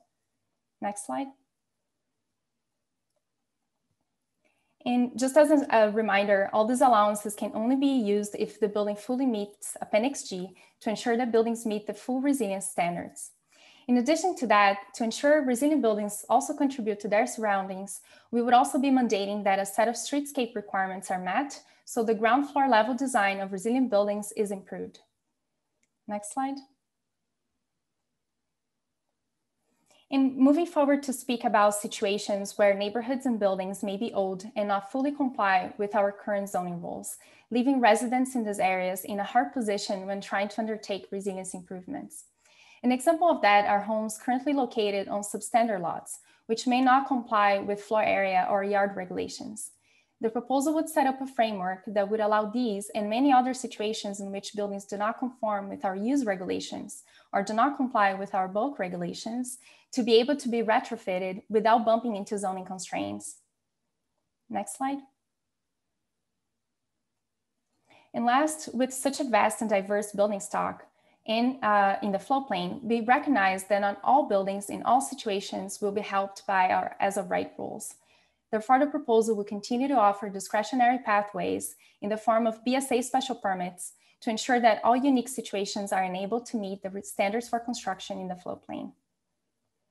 Next slide, I'll talk about goal number three. So the set of provisions located within these four categories are what we call partial resilience strategies, as they assist buildings undertake incremental steps towards resiliency without requiring the structural sites to meet the full set of rules in Appendix G of the building code. Next slide. So we learned that raising mechanical equipment is often the first step to make buildings more resilient. And so the proposal would enable more options for the placement of equipment above the flood level, either on top of roofs, which is a common strategy for larger buildings, or in a separate structure, a common strategy for larger sites or smaller buildings that cannot accommodate the additional load of heavy equipment within the building. Next slide. A big portion of our floodplain contains businesses that offer either neighborhood services or are part of the large industrial economy of the city. Many of such businesses cannot really be completely elevated or dry flood proofed, and many therefore need to prioritize what kind of spaces will be raised above harm's way so such spaces can offer the necessary support immediately after a storm event and reduce the business disruption. So proposal would include modifications to enable such measure. Next slide. The proposal would also enable different types of flood protection measures. Uh, this is one slide before this one. So go back one, please. Thank you. Um, protection measures will be able to be implemented ac across all areas in the floodplain. This would include allowances for flood panels and landscape berms and their associated egress systems to be considered permit obstruction in open areas. It would also allow spaces used for the storage of flood panels to be exempted from floor area to enable on-site storage. Next slide. And last, uh, in goal three, in many areas of the city, zoning requires waterfront sites to provide waterfront access. In a wider range of sites at the water's edge, the grade of such waterfront yards or required visual corridors cannot be modified today. The proposal would continue to offer flexibility for grading, which was passed after the 2013 flood text, and facilitate other resilience measures such as soft shorelines to be designed to help account for sea level rise or bi-level esplanades. Next slide. So now I'll speak about our final goal, which differently from the previous regulations, they show rules that would apply mostly at the citywide level. Next slide. So Sandy showed us how a storm's effects can go beyond the floodplain, especially across our energy grid. The The proposal would allow power systems, including generators, solar energy systems, fuel cells, batteries, and other energy storage systems to be considered permit obstruction in open areas across all zoning districts to facilitate their installment. Next. In addition to that, to ensure that all areas of the city can easily provide ADA access, the proposal will classify both ramps and lifts as permit obstructions in all required open areas to facilitate accessible designs. Next slide. And another important issue is how disasters, especially those that require the evacuation of residents, impact vulnerable populations. Nursing homes have populations that require continual medical care, and research showed that this dependency can be strained whether nursing homes shelter in place or evacuate prior to a coastal storm. Therefore, the city believes it will be appropriate to limit the growth of nursing homes in high-risk areas to lessen the health consequences and logistical challenges of evacuating the residents of these facilities. The proposal would prohibit the development of new nursing homes within the high-risk area, the 1% chance floodplain, and other selected geographies that would have limited vehicular access during a storm event. Existing facilities in those areas would still be able to conduct enlargements for modest improvements, including those that help with resiliency. Next slide. Last, Sandy also showed us that a lengthy process to update zoning regulations can present obstacles to the necessarily fast-paced disaster response. The proposal would include rules that would be made available to facilitate the recovery process from future disasters, some of which be implemented now to address with the COVID-19 pandemic and its associated economic effects. The first one would give property owners who hold special permits and authorizations an additional term so they can complete their original plan of construction on a longer timeline. The second one would support businesses that do not conform with zoning use regulations by allowing them more than two years, which is the current limit of discontinuance, to return to operations. Next slide, please. So now I'll be summarizing the recommendations that we've received during the public review process. Next slide. This proposal was referred out to all 59 community boards, all borough presidents and borough boards on October 19th. And while this is an only ULURP item, it followed the ULURP timeline alongside the resilience local actions, two of which are subject to the ULURP clock. That said, we've included recommendations received up to January 29th in this overview. I would also note that since this is a non-ULURP item, it technically does not come with a requirement for votes to be categorized as yes or no, or yes or no with conditions, but community boards typically responded by signaling which box they would have checked, and in many instances, they provided recommendations. So we did categorize the feedback into favorably, favorably with conditions, unfavorably, and unfavorably with conditions. Next slide. So to summarize the recommendations, at the community board level until January 29th, we had 40 out of the 59 community boards submitting their recommendations. 24 of them voted favorably, 12 favorably with conditions, three unfavorably with conditions, and one unfavorably. All board presidents and board boards that submitted a recommendation voted favorably for the CFR, with Manhattan and Queens establishing conditions. Overall, we've received over 60 conditions from community boards, borough boards, and borough presidents, most of which do relate to the zoning proposal, but a fair amount of them speak more broadly about resiliency. Next slide. I would also start by saying that several recommendations include statements in support of the citywide text amendment, recognizing that the proposed changes are one helpful piece of the overall strategy to tackle climate change, and that they also help address coastal flooding. The proposal was endorsed as a positive step to allow residents and businesses more flexibility in preparation for future storm surge and help increase their ability to recover from such events, especially since those may become more likely in the future due to climate change. ZCFR was also praised as an example of collaboration between city agencies and the community, that the project is timely and necessary. A few boards also had specific statements, such as that the regulations related to wet and dry flood proofing floor exemptions will allow for a more flood resistant community and that changes in the community due to resilience improvements are outweighed by the benefits for those most vulnerable who are within locations at risk of flooding and who could therefore take actions to protect their lives. Next slide. In terms of the feedback, as I mentioned, many conditions received during the public review process do not directly relate to zoning. Those generally relate to the topics listed in this slide.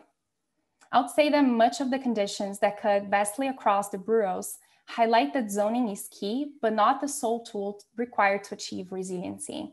They relate to the need for financial assistance programs in the form of low cost loans, subsidies, and tax abatements in order to realize the outcomes the project is trying to achieve. Also, some of the few boards that voted unfavorably highlighted how this proposed rules without subsidies end up exacerbating inequities since it's easier for new construction to take advantage of the proposed zoning rules. Regarding flood insurance, it was encouraged that the city should further study the magnitude and nature of insurance savings that could be realized by building owners who retrofit their buildings to be more resilient, and that those results are publicized to increase public awareness. A couple of comments related to infrastructure improvements, such as that the city should determine how to preserve parkland areas at risk of flooding, and that coastal protection projects, when built, should be taken into account in the flood maps by FEMA. We can continue to provide more information to the City Planning Commission on, this, on those uh, items and others that may speak more broadly about the city's resilience efforts for context. But now for the rest of the presentation, I will focus on the items that more directly relate to the proposed action. Next slide. So the most commonly raised issues in public review that more directly relate to the zoning proposal were organized by the project's goals and main categories of rules. However, I will note that the vast majority of these conditions come from Manhattan boards and were echoed by the Borough Board and the Borough President. Next slide. Most conditions, they relate to applicability of the text amendment and those that relate to the ground floor regulations, building envelope, and mechanical equipment.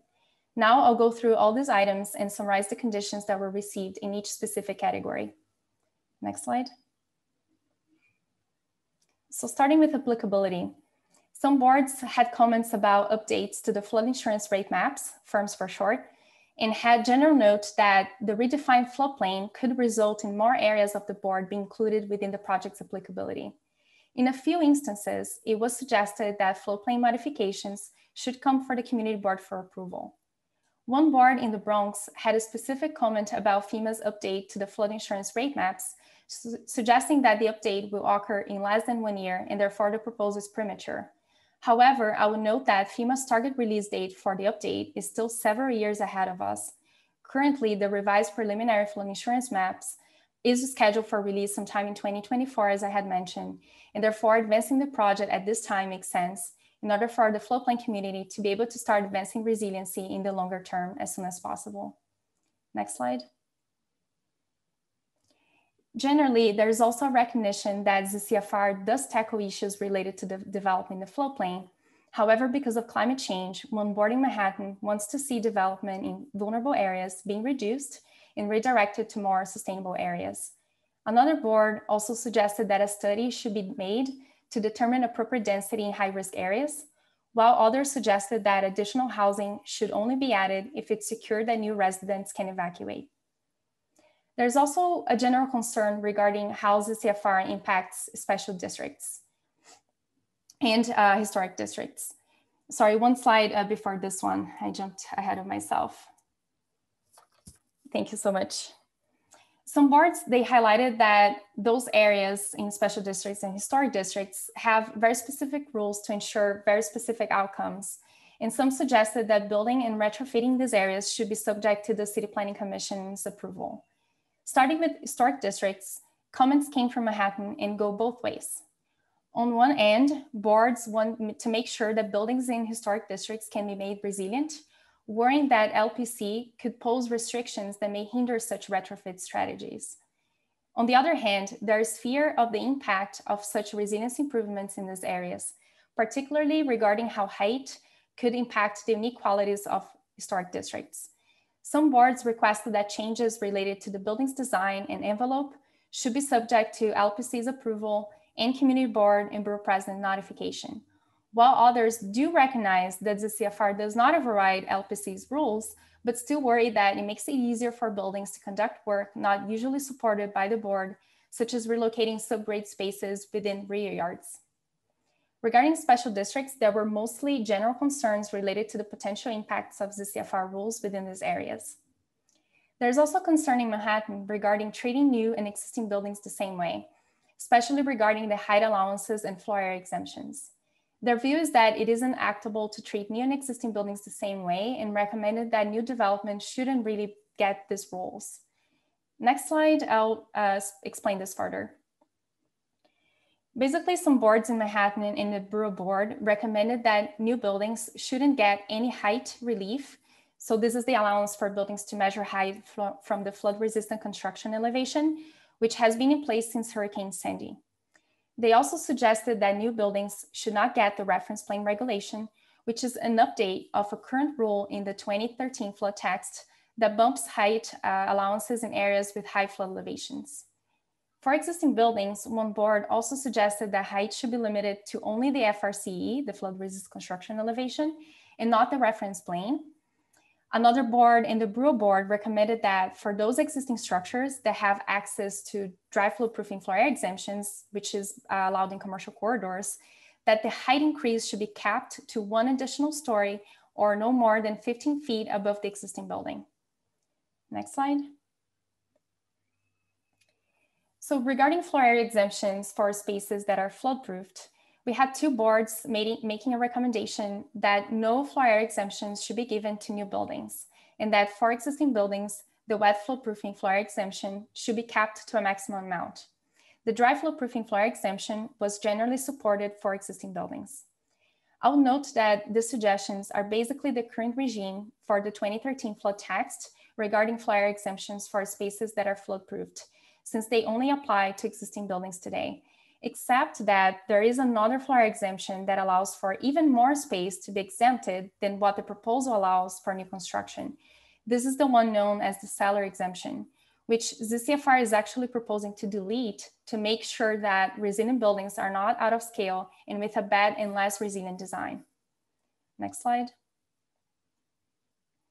I would also note that in contrast to this uh, request for existing area allowances, uh, a Queens Community Board recommended that the proposal should enable even more floor area to new and one and two family homes and altered residential structures since below grade spaces are not allowed by Appendix G for residential structures. So regarding parking, uh, only one board made a parking related recommendation, highlighting that parking should be mandated within ground floors when fronting narrow streets that don't have parking on both sides of the street. Next slide. Regarding the proposed modifications to the existing BSA special permit, two boards suggested that to the, extent possible, any foreseen special situations should be addressed in the zoning text itself rather than left to the BSA. The Manhattan Borough Board also recommends placing a maximum number of BSA, and here they call them variances per property. But I want to just make sure that we are not uh, creating modifications to variances, but just updating the current BSA special permit and creating another BSA special permit. Next slide. Manhattan boards uh, generally shared also the idea that mechanical equipment, structures, and buildings can consume the existing open space in dense Manhattan neighborhoods. The Borough Board suggested that the MEP, the mechanical equipment allowances, should only be capped in low density areas.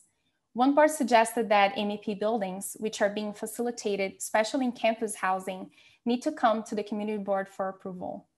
On the other hand, one board suggested that the MEP allowances could be available in high density districts, but only where it is structurally necessary to place MEP within open areas. Next slide. Regarding rules that give more flexibility for the relocation of important spaces above flood levels, one board raised a concern with the allowance for second stories to be used for non-residential uses and how that could impact affordable housing. Most likely a concern that comes within the context of an existing mixed-use building with two uh, units within the second story being retrofitted. Next slide. So one Queens Community Board suggested that the waterfront yard should be widened beyond 40 feet to provide additional protection to upland areas. Next slide. Regarding power systems, uh, there's general support for en enabling the installment of power systems. However, one board in Manhattan raised the concern with allowing diesel generators and their potential impact on air quality and noise on rear yards. Next slide. Regarding vulnerable populations, many conditions in Manhattan and Queens related to the vulnerable populations item and more generally asked that we analyze if additional types of vulnerable populations beyond nursing homes should be considered when limiting development in the floodplain. One board worried that the opposite actually, that restriction of new nursing homes could hinder the expansion of such much needed use and recommended that instead Risks should be mitigated by emergency protocols and infrastructure upgrades and not through zoning. Next slide. There were some questions regarding why ZCFR is including rules related to other disasters beyond those that are flood related and mentioned the need for more guidelines that explain the invocation of the rules. One bar raised a concern with the COVID proposed item to allow more flexibility with discontinuous provisions of grandfather non-conforming uses due to noise issues with certain uses in residence districts. So this concludes the summary of the conditions received for the CFR. I just have one last slide regarding the environmental review. So a draft generic environmental impact statement was conducted with the Department of City Planning acting on behalf of the City Planning Commission as the lead agency. The notice of completion for the draft environmental impact statement was issued on October 16th of 2020. The EIS only identified the potential for unmitigated impacts for historic and cultural resources and hazardous materials. These impacts are typical for generic actions, which is a common uh, thing for citywide text amendments such as this one. Comments on the DEIS will be received by February 16th of 2021. Thank you so much for your attention. I can take any questions now. Thank you, Manuela, for taking an incredible array of information from the 59 community boards and presenting it to us in such a digestible form. Thank you. Questions?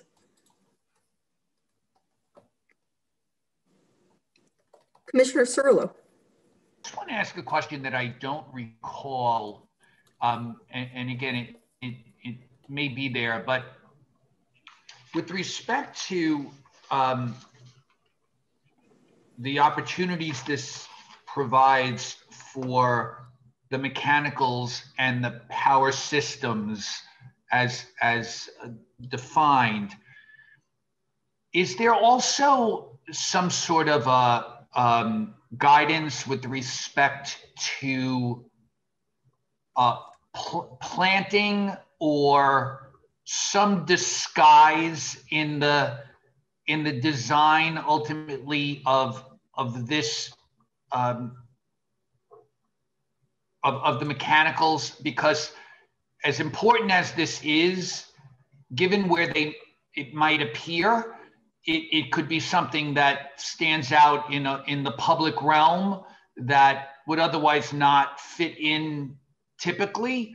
Um, and I just didn't know if we were also providing guidance for some sort of uh, uh, plantings or other opportunities for people to be able to have it there, but yet not have it be so obvious.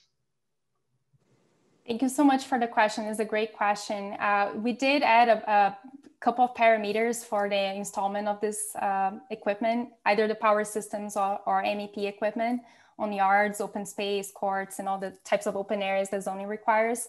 So for example, uh, in, if you are placing the equipment in a front yard, or you know if you don't have a front yard requirement, but it's in the kind of front portion of, of the building, so from the building facade until the street line, we are requiring that uh, you have plantings in front of it to really mitigate exactly what you were talking about regarding you know how you would perceive that from the sidewalk in the public realm Uh, aside from that, uh, because one of, one of the main items we are also trying to enable through the proposal is the, the development of uh, or the installment of those buildings that can carry mechanical equipment for campuses.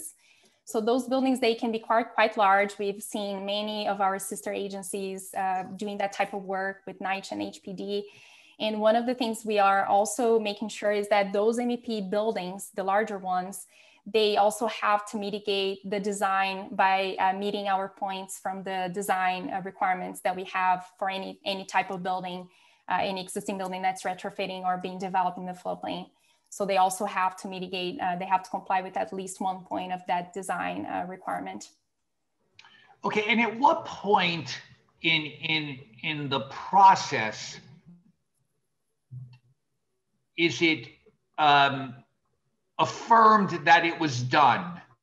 So who who is left? Is that a does it become a buildings department issue ultimately? Is there someone who confirms or affirms that you know not only are the mechanicals there or the power systems were there and that's legal, but that what is supposed to go around it is actually installed? Yeah, so uh, the permit will go directly to the Department of Buildings for approval. Um, the Department of Buildings have been already imposing design standards for uh, construction in general in the floodplain since Hurricane Sandy. So we did, you know, break those grounds uh, after Sandy by requiring design improvements. So they will be the ones carrying out that enforcement uh, when they receive a permit to elevate mechanical equipment on an open area. They would also check that those design standards are met. Okay, thank you so much, Manuela. Thank you. Thank you. Thank you, Madam Chair. Commissioner Marin. Thank you, uh, Chair. Manuela, good afternoon, and thank you for the presentation. I do have one question because I'm a little bit confused. I and and my confusion gets even thicker now that Commissioner Cerullo asked his question because my understanding was that all mechanical equipment was supposed to be raised above the floodplain, except in commercial places. Is that correct? Um, where they couldn't be avoided. So I'm not, I'm missing out somehow or the other, missing a link here and making the connection with mechanical equipment in front of homes. Thank you so much. Yeah, this is a, a question that we come, that comes to us all the time. Uh, so pursuant to Appendix G of the Building Code regulations, you could indeed have uh, what we call a building, a non-residential building for flood zone purposes. This is a definition in Appendix G. You could have this typology, so a mixed use building, community facility, commercial, industrial, all with uh, mechanical equipment below the expected flood level, provided that they are dry flood proofed or basically that they don't allow the water to come in uh, the, the, equipment itself. Uh, they could be either enclosed within a dry flood proof space or just, you know, uh, they could resist the, the water pressure.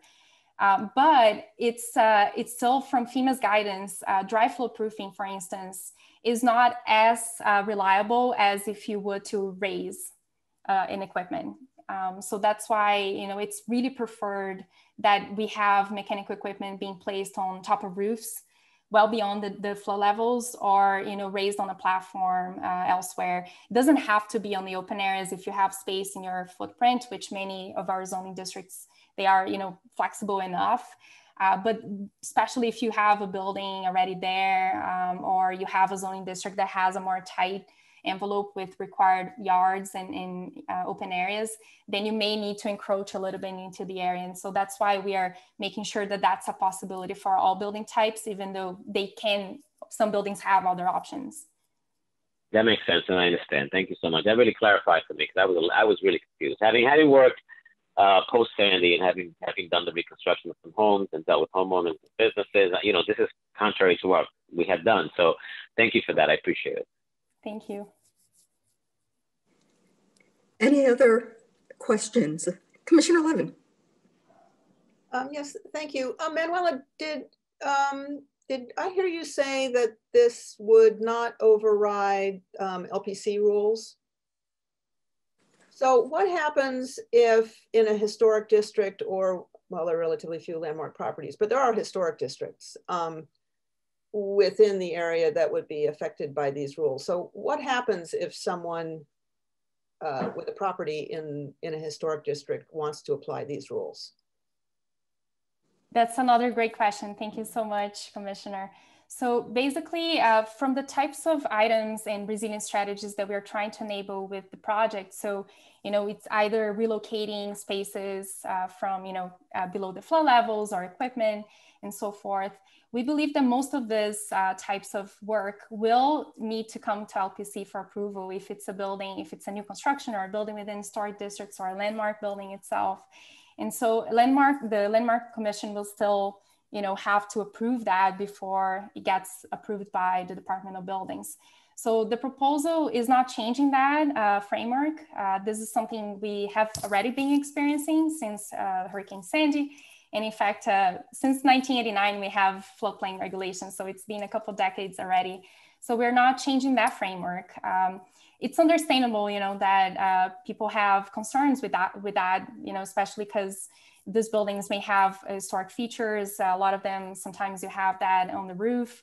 And so uh, that concern is raised when we're talking about, you know, elevating spaces, elevating equipment, and so forth. But LPC really revises this on a case by case basis, and they may pose additional uh, barriers uh, or not barriers, but additional conditions beyond zoning. And we're not changing that, uh, that work basically. Um, yeah so, so, so in that situation you have um, when it comes to the tension between the desirability to implement these features and provide for future resiliency and the desirability of preserving historic structures um, you at least have the lpc um, as an agency prepared to consider and balance those those tensions mm -hmm. But in special zoning districts, those also are areas where, um, in some cases, there are um, public policies reflected or zoning policies reflected that define a, a shape of buildings or streetscapes. Um, why the decision then here to just let these new rules override those policies in special districts? Thank you. Also, yeah. Without, without um, you know, re referring it in some way to an arbiter who can balance in the individual case mm -hmm. the policies underlying this text and the policies underlying the special district. I see. No, yeah, great question. Also, uh, it's so the same way that I was explaining how the project works with historic districts. It's true for special districts in terms of what we've been doing since you know 1989 and uh, with the uh, changes there with height and floor area. And then also since Hurricane Sandy, which we added even further allowances on the citywide level. So we already have that procedure. Uh, so the proposal was trying not to change that, uh, really with the idea that everyone should have the option of being made safer. And if a building bumps into zoning constraints and have to go through other you know, discretionary actions, pursue the BSA special permit, and other things like that, it could really hinder the ability of property owners to incorporate these changes. So the proposal was just trying to keep something that's already in place. Uh, we did look into, uh, you know, the special districts. We have language actually in the in the proposed zoning text that clarifies when the proposal is applicable to that. Um, so everything that we have in Article Six, uh, which is you know special regulations for special locations, it's already the framework of the zoning resolution that those supersede special districts um, because we're trying to, in this case, enable resiliency across the board. Um, so yeah, we did look into those. Uh, also, I think that there may be um, a, a, a, lot of questions, you know, in people's head when they come from an area that do have this very specific rules that were passed for a reason, like you said, um, and, and, and so like, the, I think that the goals that we are trying to achieve the project doesn't really conflict in a bad way with the special districts, uh, especially when it comes to the floor area exemptions, because we're trying to really, you know, we have a lot of special districts that have use regulations at the sidewalk level to ensure that vibrancy and that, you know, streetscape. And this project also has the same goal and, and with the understanding that the regulations that come from FEMA in the Appendix G of the building code, that is what adds a little bit of conflict into that experience in the public realm. And so the proposal is trying to counterbalance that by giving the flexibility that's necessary for that those streets to continue to be vibrant in the same way that special districts uh, really envision. So we don't think it's a conflict, uh, but we we did welcome you know specific situations in which we should look further. Okay, thank you. I'll go look. I'll go focus on the text a little bit more, but thank you for that. Thank you so much. Other questions? Okay, then um, thank you again, Manuela, for your encyclopedic knowledge of this complex proposal, and we will see it at the public hearing on Wednesday. Thank you so much.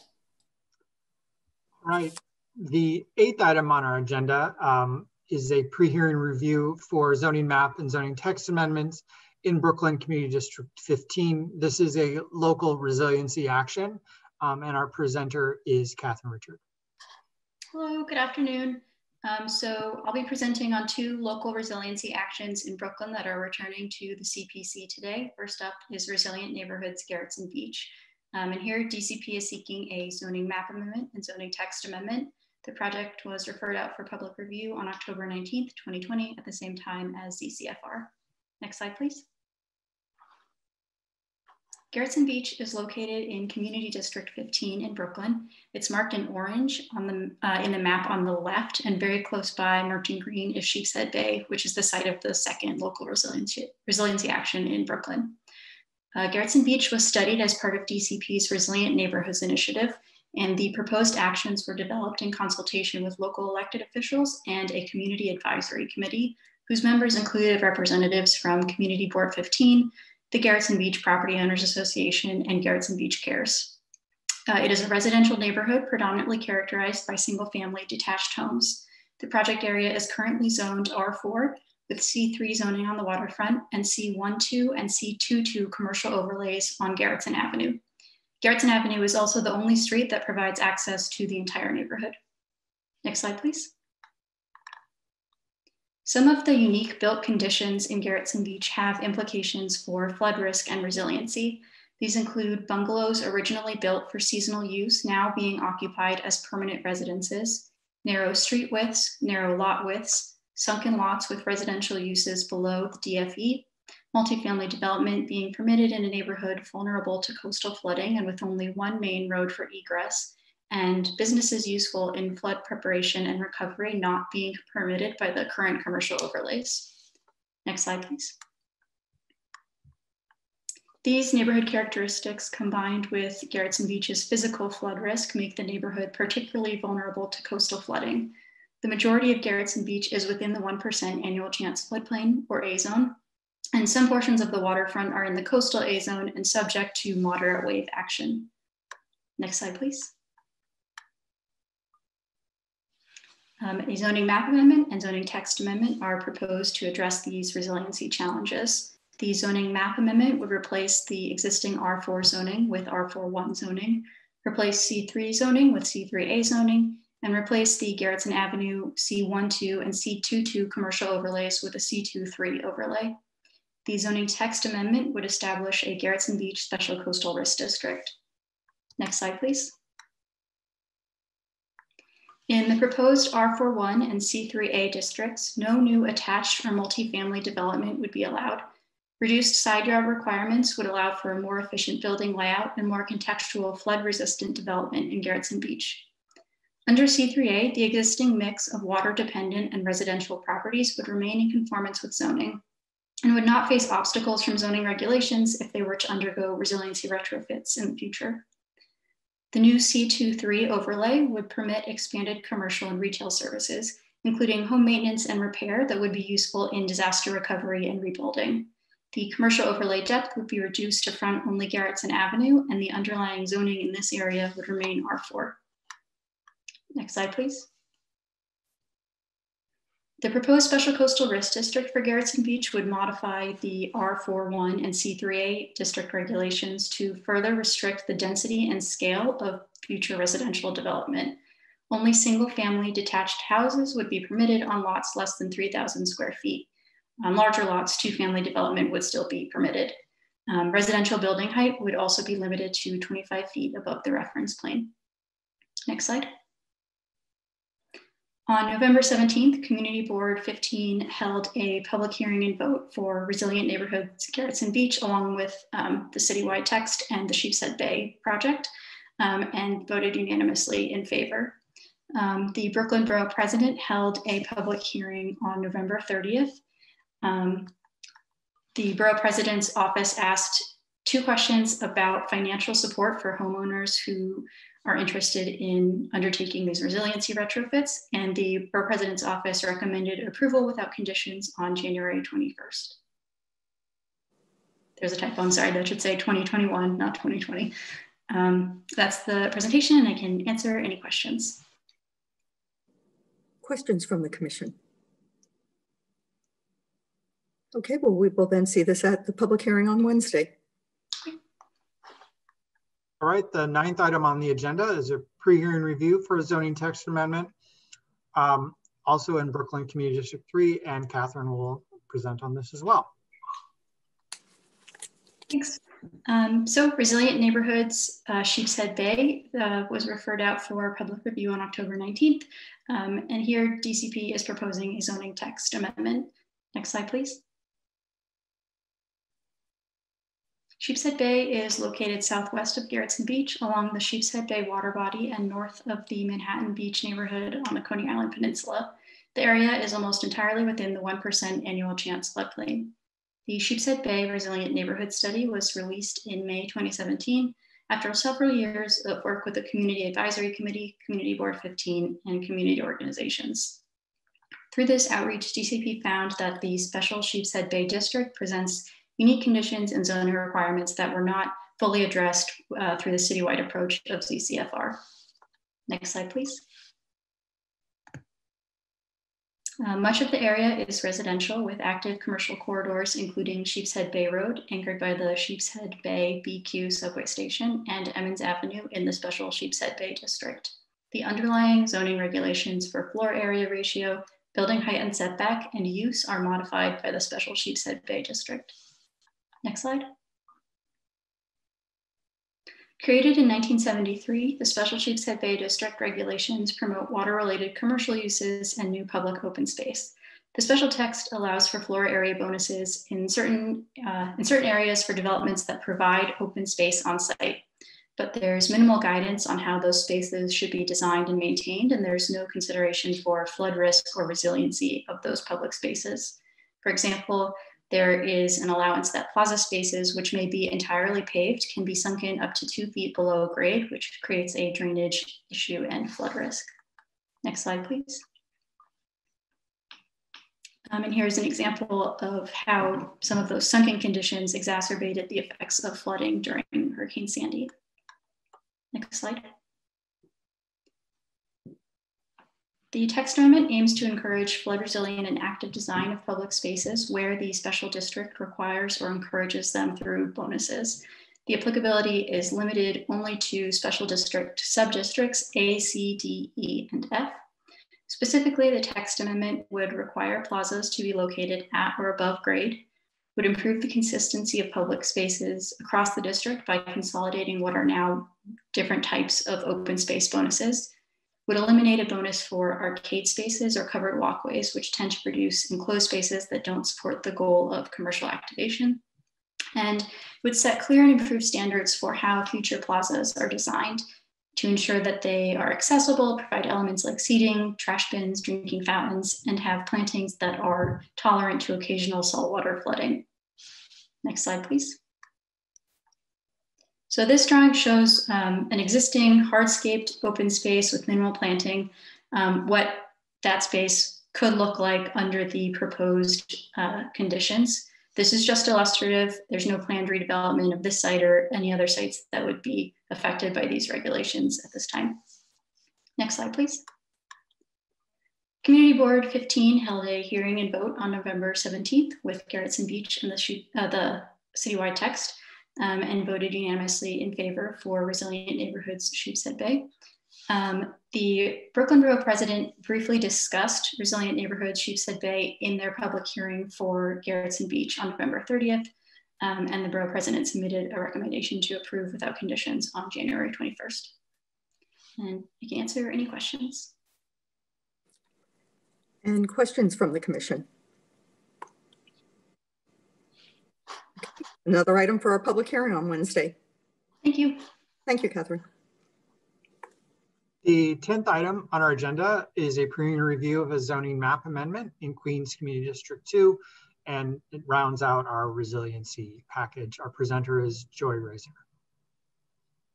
Hi, good afternoon, commissioners.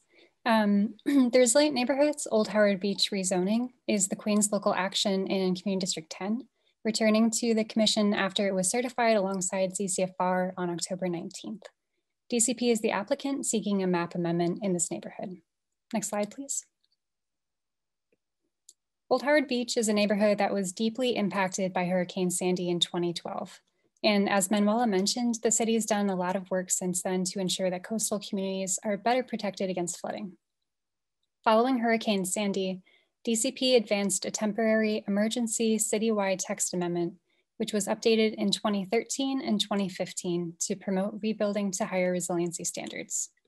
In 2014, DCP launched the Resilient Neighborhoods Initiative to work directly with coastal communities that were devastated by Sandy.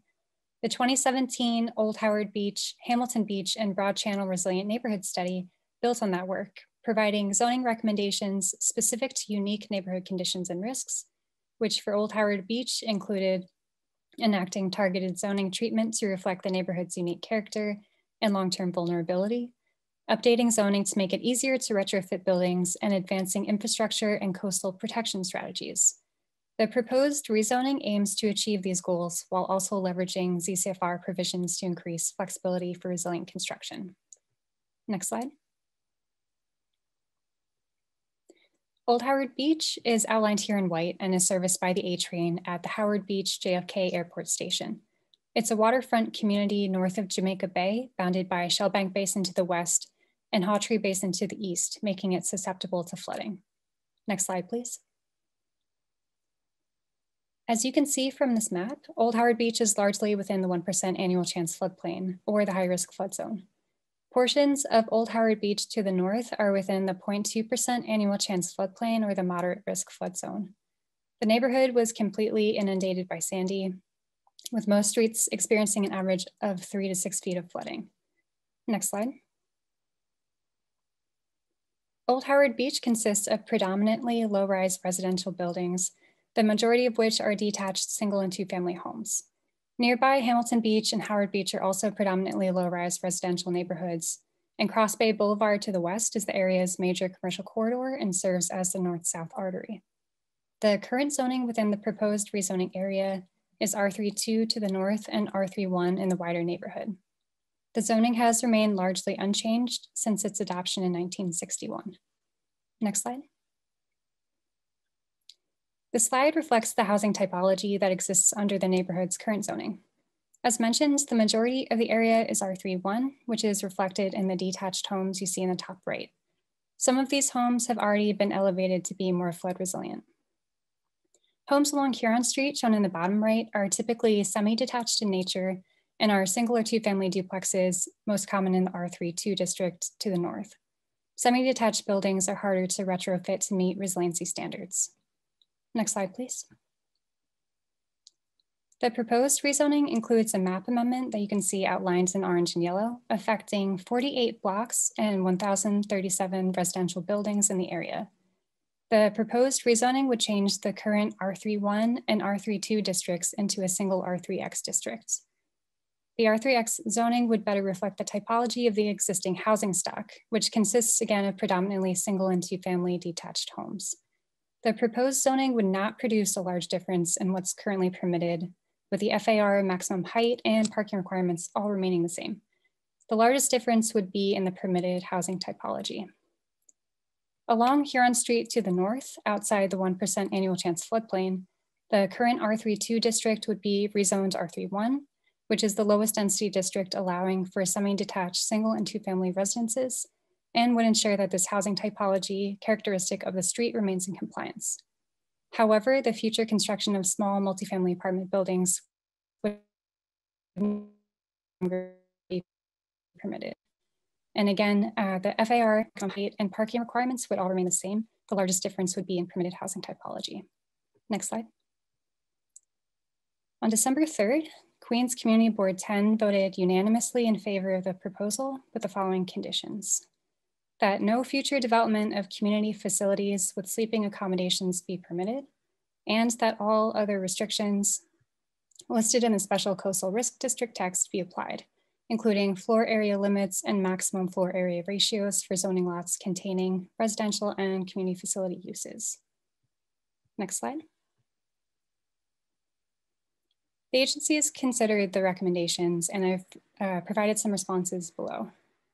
In regards to the first point, as Manuela had mentioned earlier, nursing homes are licensed to house populations that require continual medical care, which puts them at risk whether residents shelter in place or evacuate prior to a coastal storm event. Community facilities in general, such as psychiatric and other health facilities, generally do not serve a resident population that experiences negative health and morality outcomes when subject to evacuation. And after much consideration and research, DCP does not believe that this restriction should be expanded to community facilities beyond nursing homes. In response to the second recommendation, the agency conducted extensive outreach and research during the neighborhood planning process to determine the appropriate zoning treatment for Old Howard Beach. A map amendment rather than a special coastal risk district is being proposed because the neighborhood's slightly higher elevation wider and more regularly sized lots, and lower susceptibility to daily tidal flooding as compared to Hamilton Beach um, makes more sense for this text or this map amendment. Um, next slide, please. To highlight the last point, um, this slide compares the extent of daily tidal flooding based on sea level projections in the image on the right. And you can see that these 2050s projections show severe tidal flooding in the majority of Hamilton Beach, with Old Howard Beach projected to experience less daily tidal inundation. Last, uh, next slide, please. In summary, Old Howard Beach is particularly vulnerable to storm surges and flooding due to its position along the Queens coastline.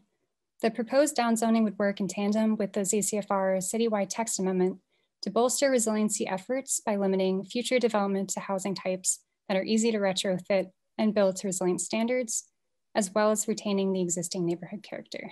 This concludes my presentation and I'm now available for questions. Thank you. Thank you, Joy. Questions from the commission? Okay, so this will be our fourth resiliency item at Wednesday's public hearing. Thank you. So for February 3rd, 2021, staff prepared reports for uh, 737 4th Avenue rezoning, uh, 9114 Fifth Avenue rezoning, East Harlem URP extension, 65 Spring Street. And they've also, we've also scheduled for a decision on Wednesday, 21432 Hillside Avenue. Are any questions on those? Raise your hand, let us know. Okay. Uh, for post hearing, we have the Harlem cluster sites, uh, 6163 Crosby Street and 5 Mercer Street. If there's any further questions on those, we can get staff on that. Not seeing any raised hands. Uh, on the Flatiron bid expansion, uh, there was a letter in your package addressing some of the questions that came up at the hearing. Um, I guess I would ask if there are any further questions on this.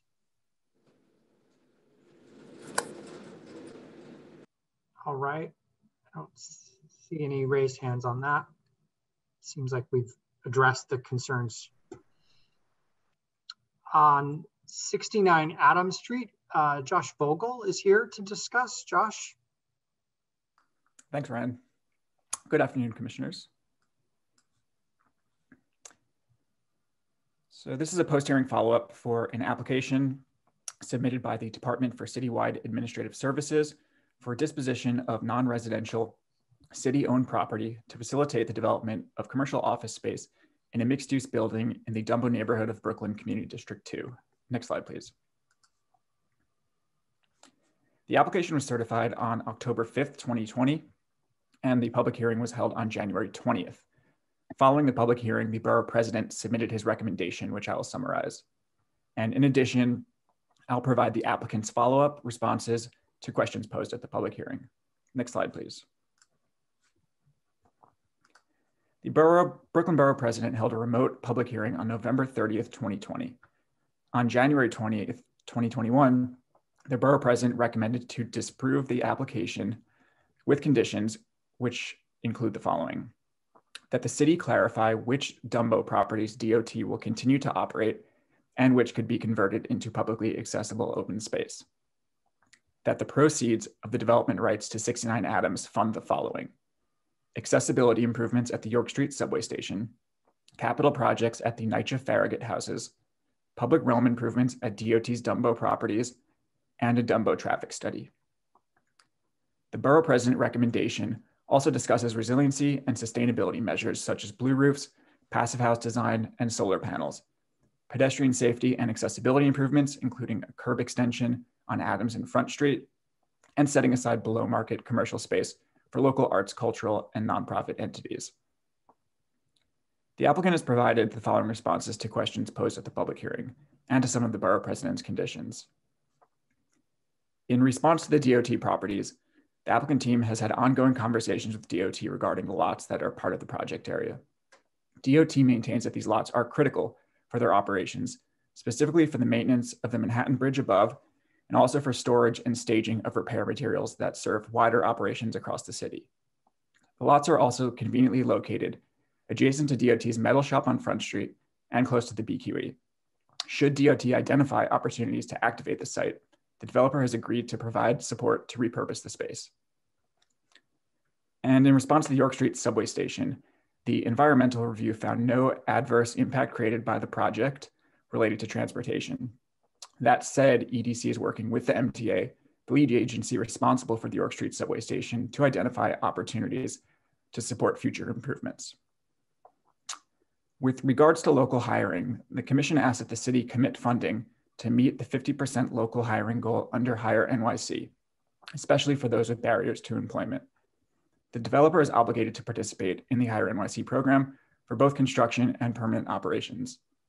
Under Hire NYC, the developer will target people living below two times the NYC poverty level for half of all the permanent jobs created by the developer and future tenants. This obligation will be maintained for eight years after the building opens. In response to driving outcomes related to local hiring goals, the developer is currently engaging NYCHA's Office of Resident Economic Empowerment and Sustainability, which receives city funds, on job training and marketing efforts. They are in, currently in conversation with NYCHA to develop pathways to connect residents with job opportunities, particularly, particularly for residents of nearby developments, including Farragut, Whitman, and Ingersoll houses. They have started the process of determining how outreach will occur to ensure residents are aware of the job opportunities in construction, permanent operations, and with future tenants, as well as how to connect them with, to training opportunities that prepare them for these jobs. And in response to a question regarding the methodology that will be used to identify minority and women owned business contractors and labor force, under the development rights sales agreement, the developer is required to commit to a 30% NW, NWBE goal for its construction budget. The developer must submit an MWBE contracting plan prior to construction and has committed to engaging a workforce consultant to assist with identifying qualified MWBE contractors and material suppliers. Per the agreement, the developer will be required to report its progress toward the 30% goal throughout the bidding and construction process. And these applicant responses were also detailed in a memo that was included in your briefing package. And that concludes the post-hearing update. I'm happy to take any questions. Okay, Brian, if you want to continue. Looks like Commissioner Burney has his hand up. Sorry, I did, did not see that. Sorry. Yes, please. Sorry, I did it late. Thank you. uh, yeah, thanks, uh, Josh. Um, uh, just a quick question. The borough president talks about what is the disposition uh, of the money for the sale of the. What are they doing with the proceeds from the disposition of the site? Do you know a how much money that is, and b what the city typically does with that money? It's going into the general fund.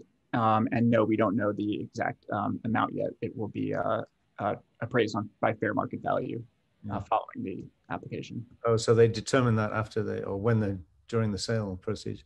Correct. Okay.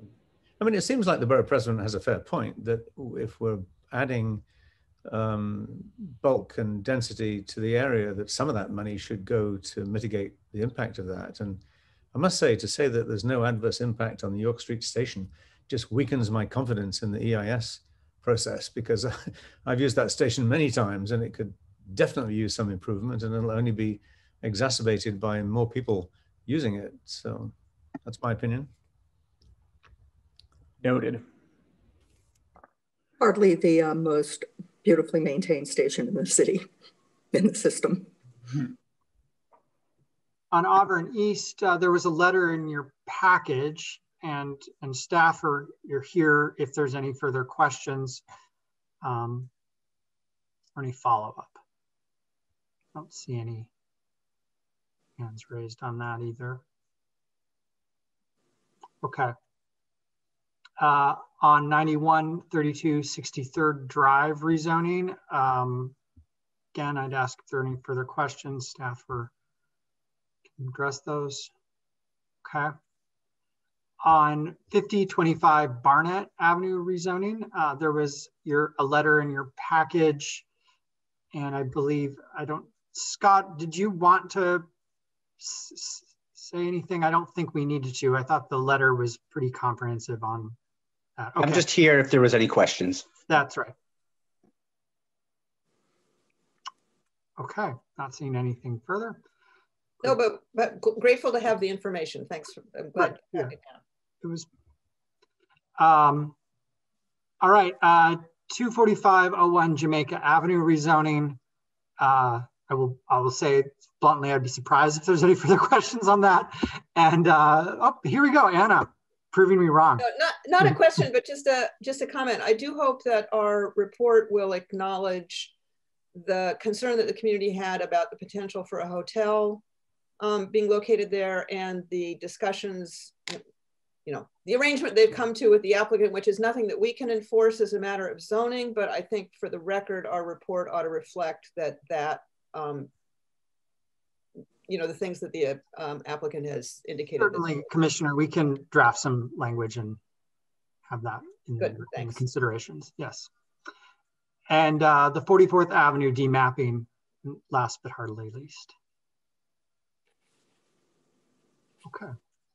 Okay, well, I hope that um, all of us tap into our remaining inner child and go out and make some snow angels. Right, this concludes the review session for Monday, February 1st, 2021, and the time is 3.38. Thank you. Uh, stay warm. Thank you. Wednesday. Be safe, everybody. Okay, bye-bye.